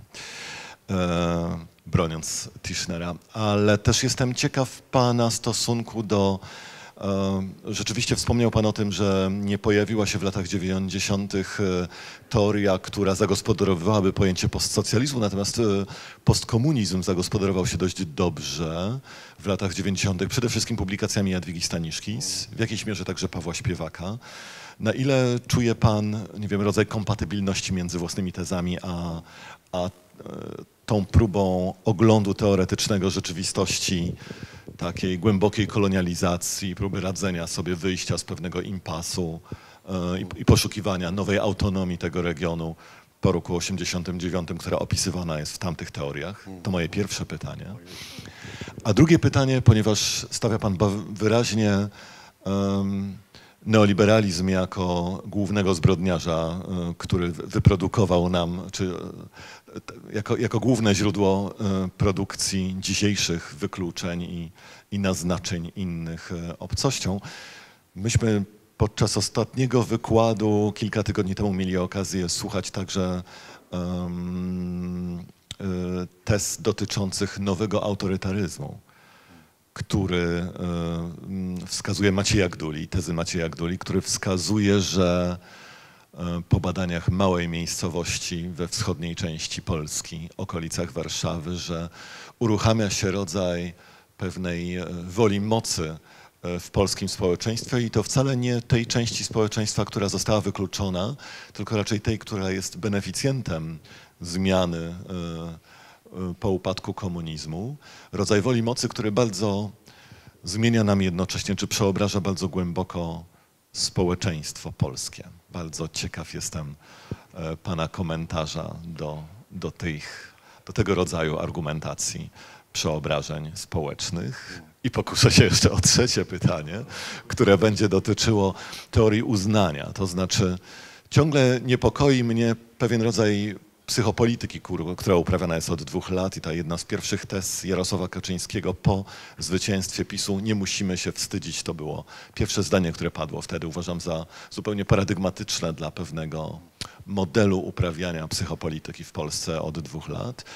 Czy tu nie mamy do czynienia jednak z także z głębokimi pokładami braku uznania, które teraz e, wypełniane są pewnym nowym obrazem obcego jako zagrożenia e, i jednocześnie wydobycia tych, którzy zostali wcześniej naznaczeni jako właśnie e, stanowiący ten rodzaj homo sovieticusa, nie radzącego sobie z nową rzeczywistością no właśnie, czy oni nie zostają wydobyci tym samym na światło dzienne, jako ci, którzy nie muszą się już niczego wstydzić? I czy tutaj nie dochodzi do pewnej transformacji e, tego społecznych obrazów inności? E, mogę po kolei, mogę zacząć od tyłu. E, polityka uznania, no to zaznaczyłem tutaj, tak, że, że to, to, to właśnie polegało między innymi na tym, że tych, których ja określam tutaj jako wykluczonych, albo inaczej, którzy byli określani jako homo sovieticus, to y, y, y, w obliczu tego, co się działo przedtem, że jesteście niekompetentni, jesteście, nie nadajecie się do nowego świata, w związku z tym jesteście sami winni, sami sobie winni, powiedziano, jesteście solą tej ziemi. To jesteśmy my, to jest naród polski, to jest wspólnota. A więc to y, od tej strony, nazwijmy to psychospołecznej, to jest bar, y, i bardzo dobry chwyt i bardzo dobra y, polityka, która, która jest określana tak, w powiązaniu z pewnymi, z paroma innymi cechami jako pewna prawicowo-populistyczna. Tak? Może być lewicowo-populistyczna. Tak? Populizm ma przecież wiele, wiele form i w ogóle polityka jest skoro jeśli je, ma charakter demokratyczny, jest głosowanie, to każda polityka jest populistyczna w pewnym sensie. E, także tu, tu, tu się z tym zgadzam i to, i to było jasne, jasna pewna waloryzacja właśnie tych, którzy byli dotąd, e, tych moherowych beretów. Tak? E, I, w, odniesieniu do nich, w odwołaniu do nich ta nowa polityka jest budowana. I częścią tej nowej polityki budowanej do nich e, jest, e, jest stosunek do innych, do obcych, do obcej kultury, która idzie w parze no, z tą polityką narodową, tak? która też jest częścią tego e, szeroko rozumianego prawicowego e, populizmu, a z natury rzeczy, który bardzo szybko niestety, może rzeczywiście za dużo, ale chciałem powiedzieć, e, pokazano, powiązany jest z tym wyobrażeniem narodu jako pewnej zwartej całości, która, która wpływy zewnętrzne, jakiekolwiek właściwie mogą, mogą zmienić, a my tego nie chcemy, bo nie mamy się czego wstydzić, to jest nasza tradycja. Tak? Drugie pytanie dotyczyło Staniszki z śpiewaka, tak, i ich pojęcia postkomunizmu. To znaczy są, to są pewne, ja wspominam o tym w, w książce, oczywiście tu nie, nie zdołałem, że są pewne prace, które, które stanowią ważki, y, ważką lokalną, powiedzmy, odpowiedź na to, co się działo w całym regionie, w szczególności w naszym kraju, ale w całym regionie i one powstawały już w latach 80. i tu oczywiście y, wspominam o, y, właśnie chociażby o książkach Jadwigi Staniszki, i, i które działy się w latach 90. i które w dobry sposób próbowały tę mm, pewną sytuację prowincjonalności y, obszaru postkomunistycznego w stosunku do, do całego globalnego neoliberalizmu pokazać. Niemniej one jak gdyby z automatu właśnie przez to, że, że, to, że tak się stało, stały się częścią tej teorii neo, e, neoliberalnej, lokalnej, ale ogólnej neoliberalnej.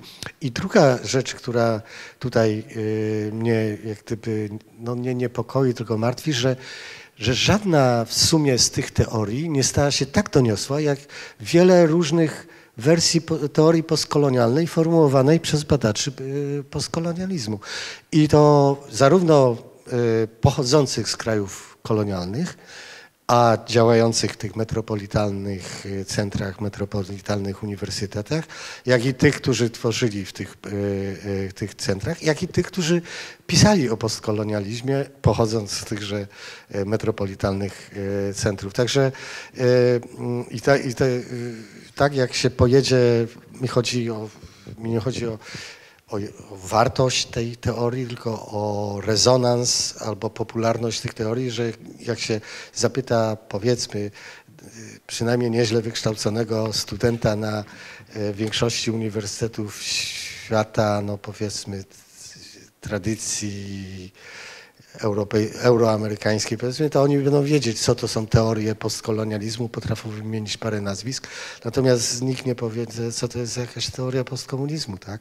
I w mojej dyscyplinie, czyli w tej antropologii społeczno-kulturowej e, są nazwiska, które się tym zajmowały i bardzo dobrzy badacze, których inspiracji często korzystałem właśnie stając się krytyczny wobec tego, co, co się u nas działo w, w kwestii procesów społecznych, wykluczania i sposobu e, konceptualizacji, czyli ta cała e, mm, powiedzmy narracja Sztąpki i innych, że, że to oni mnie właśnie ale ich nazwiska może jedno, dwa gdzieś tam inni badacze znają, natomiast reszta jest naprawdę na pewno nie tak znana jak, jak, jak nie wiem, Gayatri Spivak czy, czy, czy, czy coś takiego. Natomiast jeśli chodzi o Homo Sovieticus, to nie wiem, że, przede wszystkim wyjdźmy od tego, że, że, że to nie Tischner wymyślił Homo Sovieticus, tylko Zinowiew, tak? a więc to jest rosyjski termin. E, e,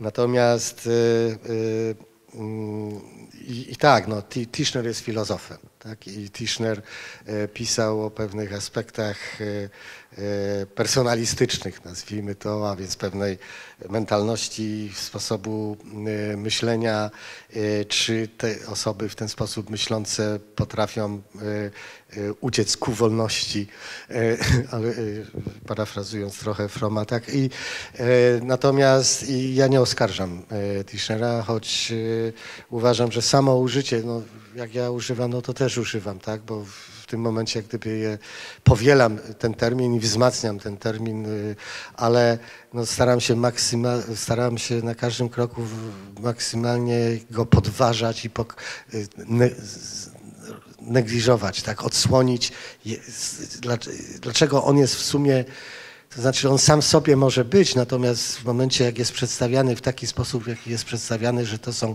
skamieliny jakiegoś zahibernowane, niereformowalne, y, y, żywe trupy, to, to, to, to, coś jest nie tak. I każdy, który w ten sposób opisuje y, ludzi, miliony ludzi, tak, no to y, nie myśli na pewno socjologicznie ani antropologicznie. I, a paradoks polegał między innymi na tym, że socjolodzy głównie, częściowo poli- politolodzy i filozofowie y, w ten sposób, y, w ten sposób pisali. Także ja chciałbym być identyfikowany z tym anty-homo.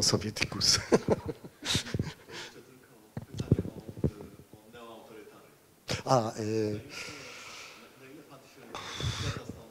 no to znaczy teza jest i wiem, że może jest trochę ludzi, którzy w ten sposób zawsze myśleli albo zawsze myślą, że może na, tej zasadzie, że jak tam jednak ten Putin to przynajmniej porządek zaprowadził, to możemy też kogoś takiego i będzie wreszcie porządek i pewnie takie tendencje są. Natomiast jako badacz empiryczny, społeczny, antropolog. Nie mogę nic w tej kwestii powiedzieć, bo ani takich badań jak Gdula nie prowadziłem, e, ani nawet w moich e, dziekanowicach e, nie rozmawiałem na ten temat.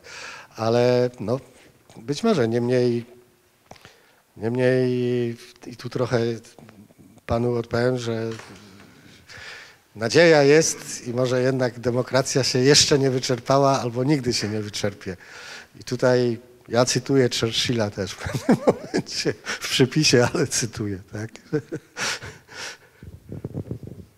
Mm, To y, ja chciałem zadać takie pytanie, znaczy poruszyć taki wątek, nie wiem, użyteczności, jeśli chodzi o, wracając na chwilę do, do wątku islamofobii, bo zastanawiam się nad tym, czy jakby w kontekście y, mm, szeroko pojętych, e, tak to nazwijmy, neoliberalnych elit, to czy y, tutaj w naszym regionie, czy, czy, czy, czy, czy, czy ta mm, konstrukcja powiedzmy tak, taka nie jest y, użyteczna o tyle, jako, o tyle mm, wyszła nie tak dawno książka, zresztą przeczytałem akurat ją w przeciwieństwie do książki pana profesora, po którą na pewno sięgnę, e, e, do, y, mówiąca o islamofobii jako o technologii władzy.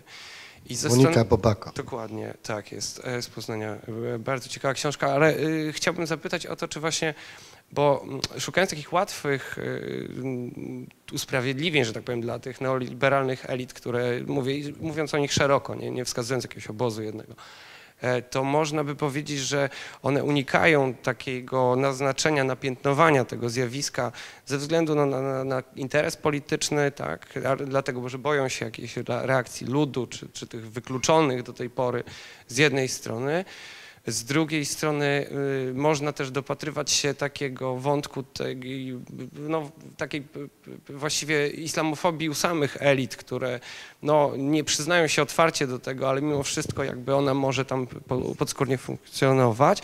A trzecia, a trzecia rzecz, o której jakby, która mi się nasuwa, to jest taka, że no on może, ta, ta islamofobia może być wygodna, dlatego że ona właściwie jakby, no patrząc takimi takimi prawidłami tego kapitału, czy, czy neoliberalnej jakby, nie wiem, próby z, interpretacji z jednej strony, a z drugiej z takiego sprawnego zarządzania krajem, czy, czy, czy gospodarką właściwie, no z jednej strony mamy tutaj, oczywiście ksenofobia to jest szersze zjawisko, ja nie neguję absolutnie tego, że ona jest, nie ogranicza się tylko do, do, do islamofobii, ale, ale jak jednak z jednej strony mamy tych takich, jak to tam niektórzy używają takich określeń, bliższych kulturowo nam imigrantów, którzy są w jakimś stopniu większym, większym e, e, e, akceptowani, a z drugiej strony jakby mamy tych zewnętrznych, no, napiętnowanych, nieznanych nam tak naprawdę ludzi, którzy, których Y, obarczamy tymi wszystkimi cechami negatywnymi, y, my mówię jako społeczeństwo i to jest o tyle wygodne, dlatego że no, gdzieś ten gniew na to, że ten raj obiecany nie do końca się spełni. Tutaj jakby nawiązując do, do książki pana profesora, którą mówię, jeszcze nie czytałem, e, mamy to takie piekło, które może jest w tym momencie elementem tego większego obrazu, tego niespełnionego raju, więc jego takim siłą rzeczy on, on musi mieć takie swoje małe piekiełko, to będzie to właśnie piekiełko, ale y, z punktu widzenia jakby zarządzania tym wszystkim, to właściwie no jeśli, ja, gdzie indziej szukać tego, tej, tej, tego win, tej winy, tego niespełnienia tego snu, jeśli no, nie, nie, przecież nie u samych neoliberalnych elit, więc gdzieś trzeba to zakumulować, ten, ten gniew, ten, to, to niezadowolenie. Znajdźmy kogoś, kto jest względnie, no nie wiem, ci, ci generalnie imigranci są gospodarce potrzebni, tak, dlatego że no, z wielu różnych powodów, nie będę wymieniał, wiemy o tym. A tutaj możemy znaleźć takich imigrantów, którzy, których możemy wykluczyć y, z punktu widzenia, mówię, zarządzania tym wszystkim względnie bezkosztowo, tak, to znaczy tak, tak, tak, tak y, z punktu widzenia użyteczności y, i, i mówię, i jakiegoś gospodarowania. Tak, tak sobie się zastanawiam. Nie wiem, co, co pan profesor o tym myśli. Dziękuję. Przepraszam, że tak długo.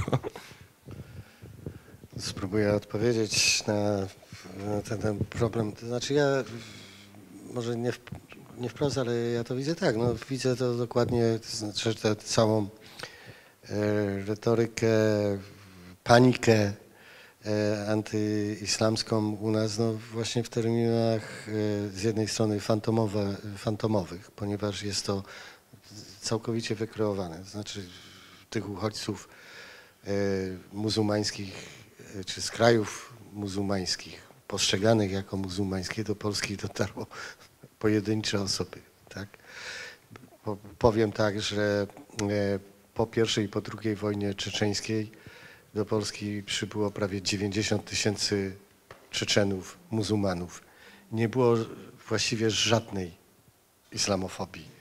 Wręcz przeciwnie, uważano, że należy ich przyjąć. Nie było żadnego problemu. I teraz od, przychodzą wybory roku 2015. Jest tak zwany kryzys uchodźczy, czyli natężona fala imigrantów zmierzających czy przybywających do Europy. I ona w, właśnie w ramach technologii władzy zostaje natychmiast wykorzystana e, w, w sporach politycznych. Tak? E, poszło w pewnym sensie o 7 tysięcy potencjalnie przyjętych osób i no 7 tysięcy ile to jest w stosunku do to, to nawet jest nawet nie jedna osoba na jedną parafię. E, I, ale sposób, w jaki w ramach stosowanej technologii władzy przez odwołanie się do pewnych kulturowych wyobrażeń i ich wzmocnienie orientaliz tych orientalizujących wyobrażeń, jak ją umiejętnie wykorzystano, to w pewnym sensie można powiedzieć, że ten kryzys uchodźczy to jednemu z obozów politycznych w tym kraju spadł jak z nieba. Tak?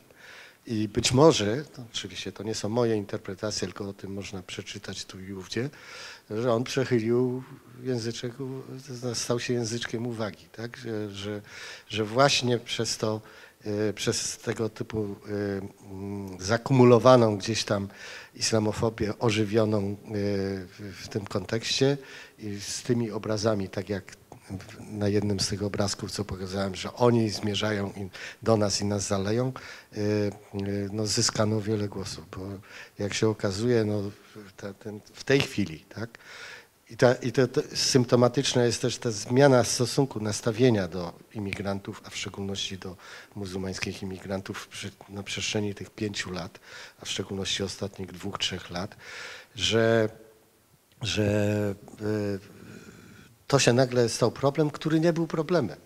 Znaczy nie był realnym problemem, on był problemem wykreowanym całkowicie w dyskursach, który nagle połączył ludzi wykształconych niewykształconych, wygranych i przegranych. 74% tak jest przeciwnych, czyli można powiedzieć, że to jest e, ta, e, ten negatywny stosunek do przybyszy jest czymś, co w największy sposób łączy Polaków.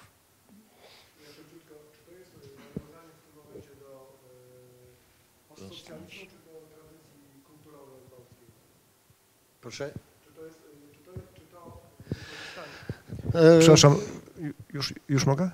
Czy, czy to nawiązanie do e, tych uchodźców e, to jest sięgnięcie do tradycji postsocjalistycznej, czy do tradycji kulturowej polskiej, że jak gdyby z którego ar, arsenału się korzysta? No tak, no, ja sobie to było, oczywiście nie, nie mam żadnych takich dowodów twardych i nigdy pewnie nie będę miał, ale ja sobie wyobrażam to w ten sposób, że są, są tak jak mówię, jest pewna skarbnica narodowej, narodowych mitów i wyobrażeń, y, gdzie tamte wyobrażenia tkwią i, i są i one gdzieś tam się tlą.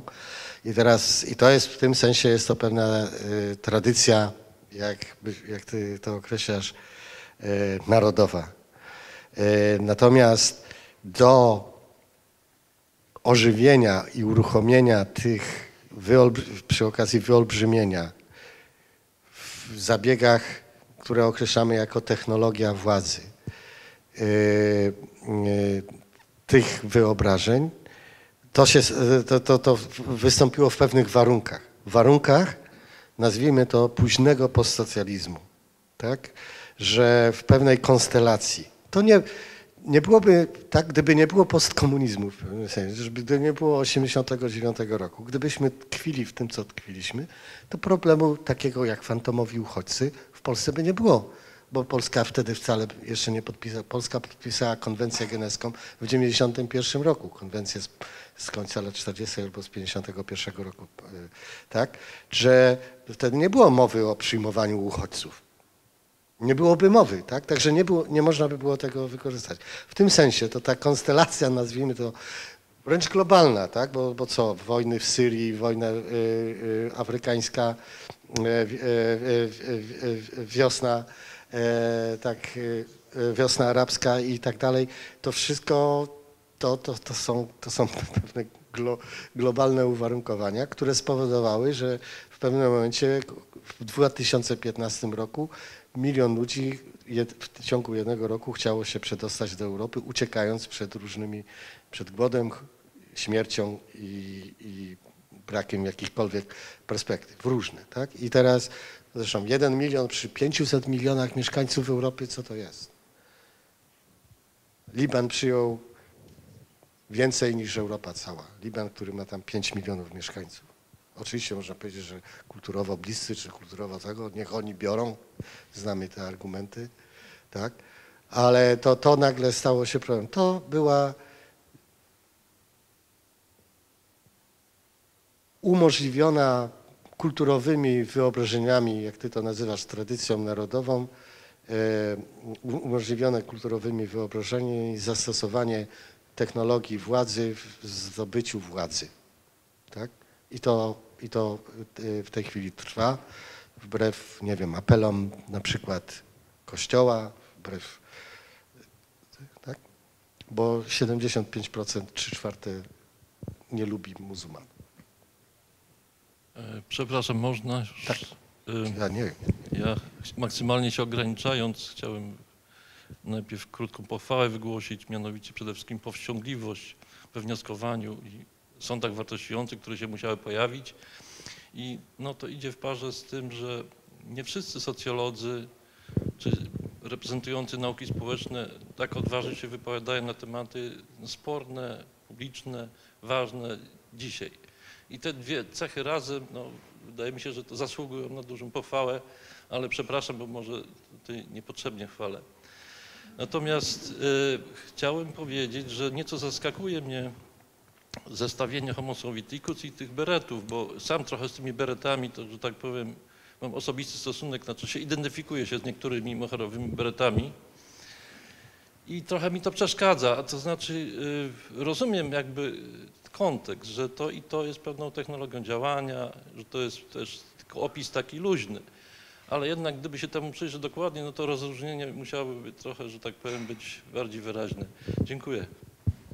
No, Zdecydowanie tak. Ja, ja to, to był w, w tytule pewien chwyt retoryczny, który potem e, w trakcie wykładu też stosowałem, ale ja e, być może, nawet nie pamiętam, być może w książce raz gdzieś tam wzmiankuję o tych moherowych jako właśnie, nazywanych przez te niektóre elity, tak, że te część tych grup społecznych była w ten sposób określana, ale głównie posługuję się tą kategorią używaną przez, przez y, tych profesorów, badaczy, tak, homo sovieticus, tak, ale no, ja, jakiś związek powiedzmy, czy jakieś, y, że jakoś te grupy mogą na siebie y, zachodzić, no bo w tym wyobra, w- to nasze wyobrażenie tych grup może na siebie zachodzić homo sovieticus, że to są właśnie ci wszyscy, którzy, którzy żyli, czy wielu, którzy żyli w tych czasach i reprezentują pewne wartości, w tym pewne wartości kulturowe,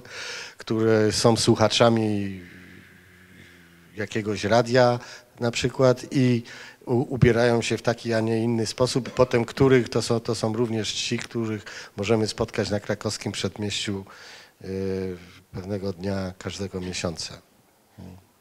Albo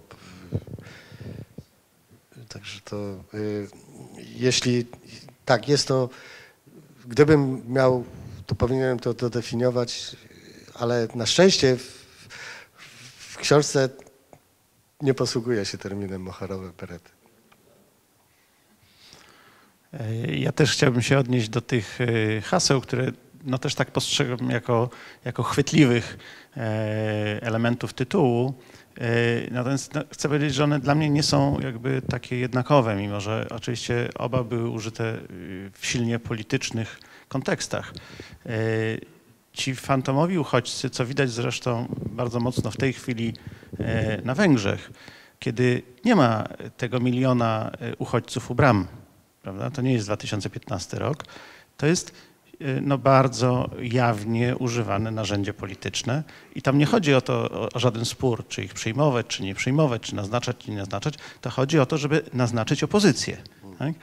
I można by powiedzieć, że y, to ta opozycja jest tym elementem, y, do którego y, to naznaczenie się tych, powiedziałbym, poprzednio e, naznaczonych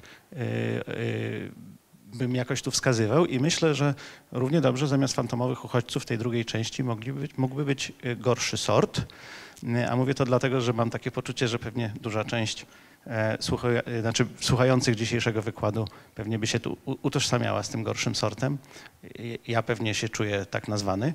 I wtedy, można powiedzieć, ten antyelitaryzm jest silniej uwy, e, uwypuklony. I tutaj w Pana wykładzie pojawił się przez moment taki wątek, ale on nie wybrzmiał. To znaczy, ja bym chciał powiedzieć, że mi trochę jakoś tutaj zabrakło, bo ten wykład wtedy i, i, również ten postsocjalizm w tym tytule i w wykładzie jakoś zawęża to nasze widzenie. No, padł tutaj w pytaniu, e, padło nazwisko Trumpa, który właściwie tymi samymi mechanizmami E, doszedł do władzy w zupełnie innych warunkach, e, można powiedzieć, polityczno-gospodarczych, tak?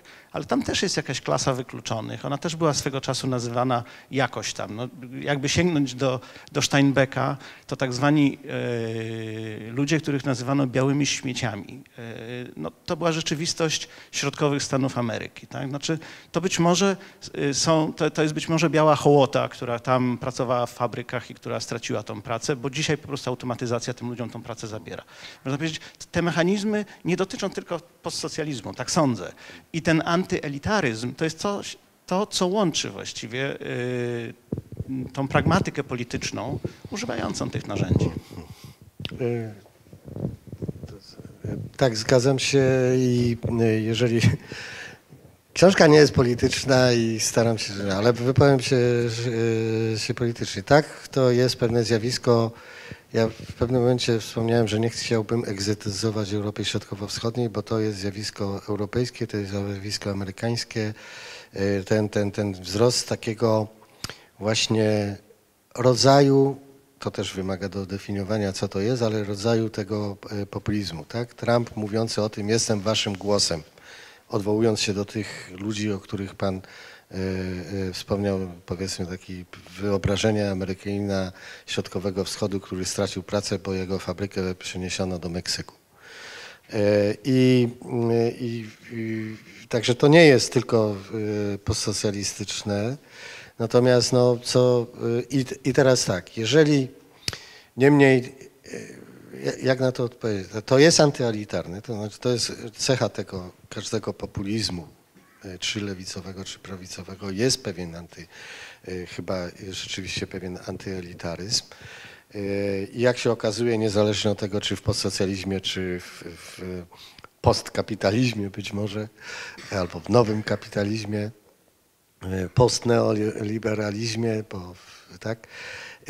I gdybym wypowiedział się politycznie tak, to, to, to powiem mniej więcej w ten sposób. Nie ma co znaczy nie ma sensu na pewno dys, próbować dyskredytować tego ruchu i tych ludzi poprzez pokazywanie, że oni są populistami.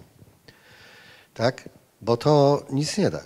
I nie ma sensu, to znaczy ma sens z naszego krytycznego punktu widzenia, ale w, w dialogu, jak, w jakim dialogu? W, w wymianie E, politycznej, pokazywanie, że to jest nielogiczne, że to jest nieracjonalne, że tego. Bo przecież w polityce o to nie chodzi. Chodzi o to, że jeżeli wycofująca się w obliczu właśnie przybierającego taką prawicowo-nacjonalistyczną, powiedzmy ksenofobiczną formę e, populizmu, jeżeli mielibyśmy się jej przeciwstawić, to by trzeba zaproponować jakąś lewicowy sposób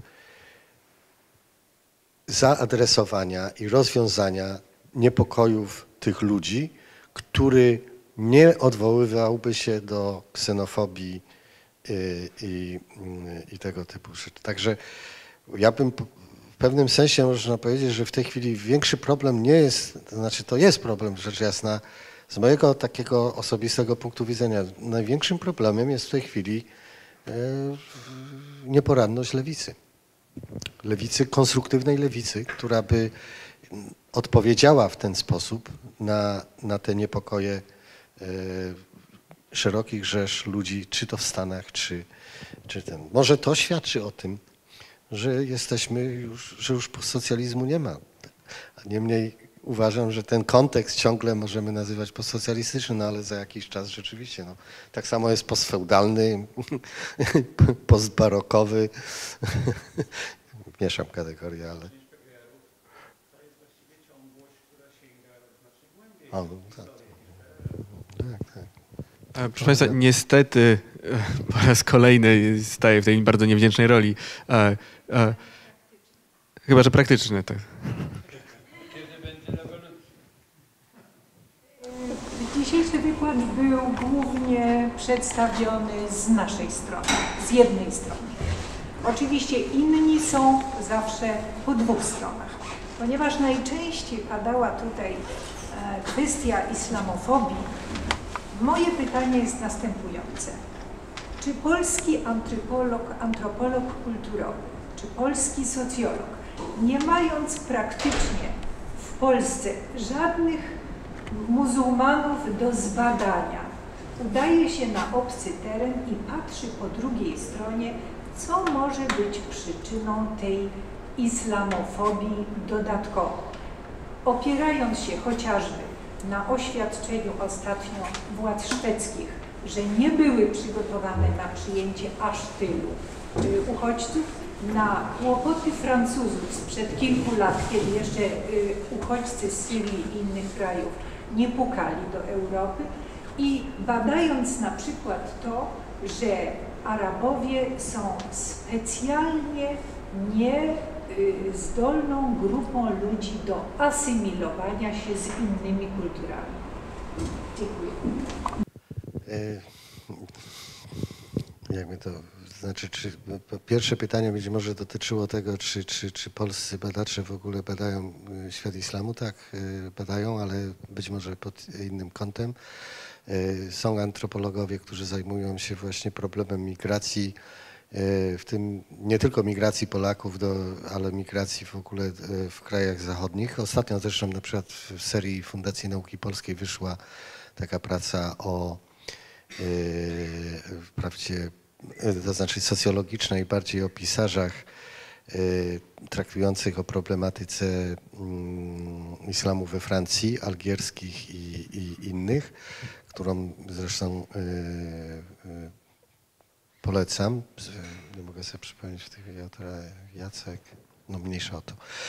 I teraz tak, y, nie wiem czy dobrze y, odczytuję y, y, Pani y, intencje, ale spróbuję odpowiedzieć na to pytanie w ten sposób, że jeżeli mówi Pani o tym, iż Arabowie, na przykład Arabowie nie są zdolni, czy są niezdolni do asymilacji, no to jest właśnie przykład esencjalizowania ludzi, tak?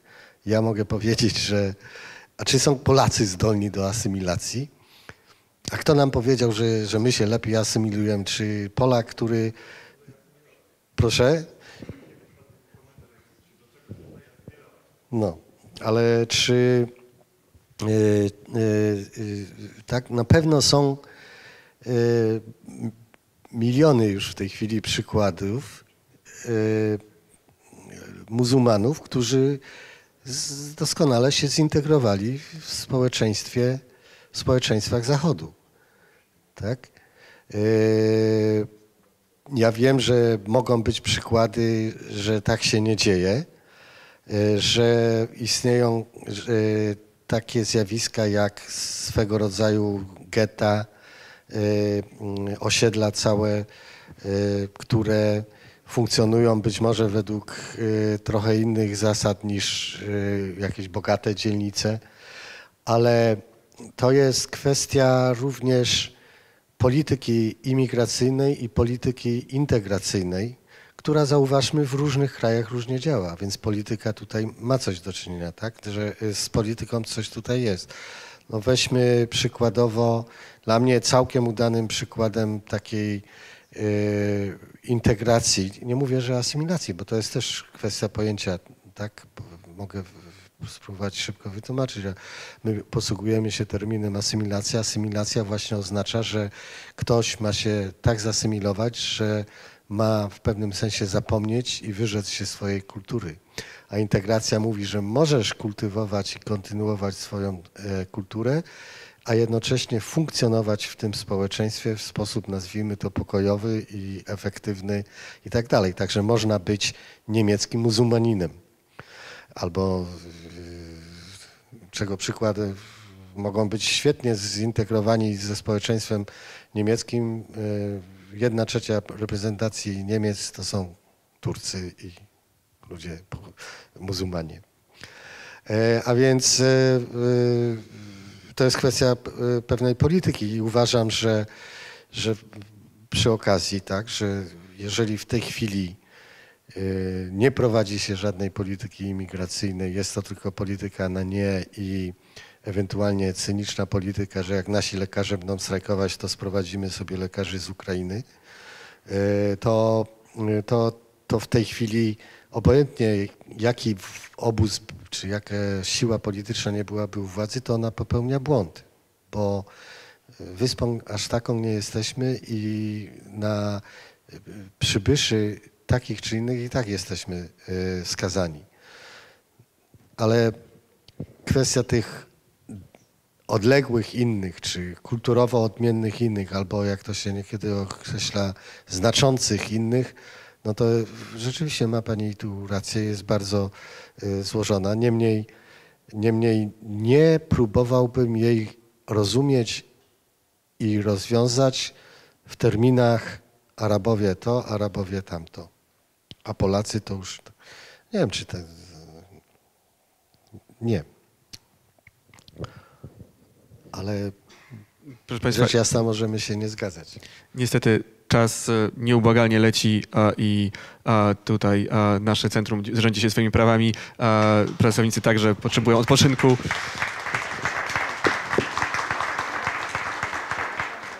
Chciałem jeszcze raz bardzo podziękować panu profesorowi Michałowi Buch- Buchowskiemu za przyjęcie naszego zaproszenia, za wykład.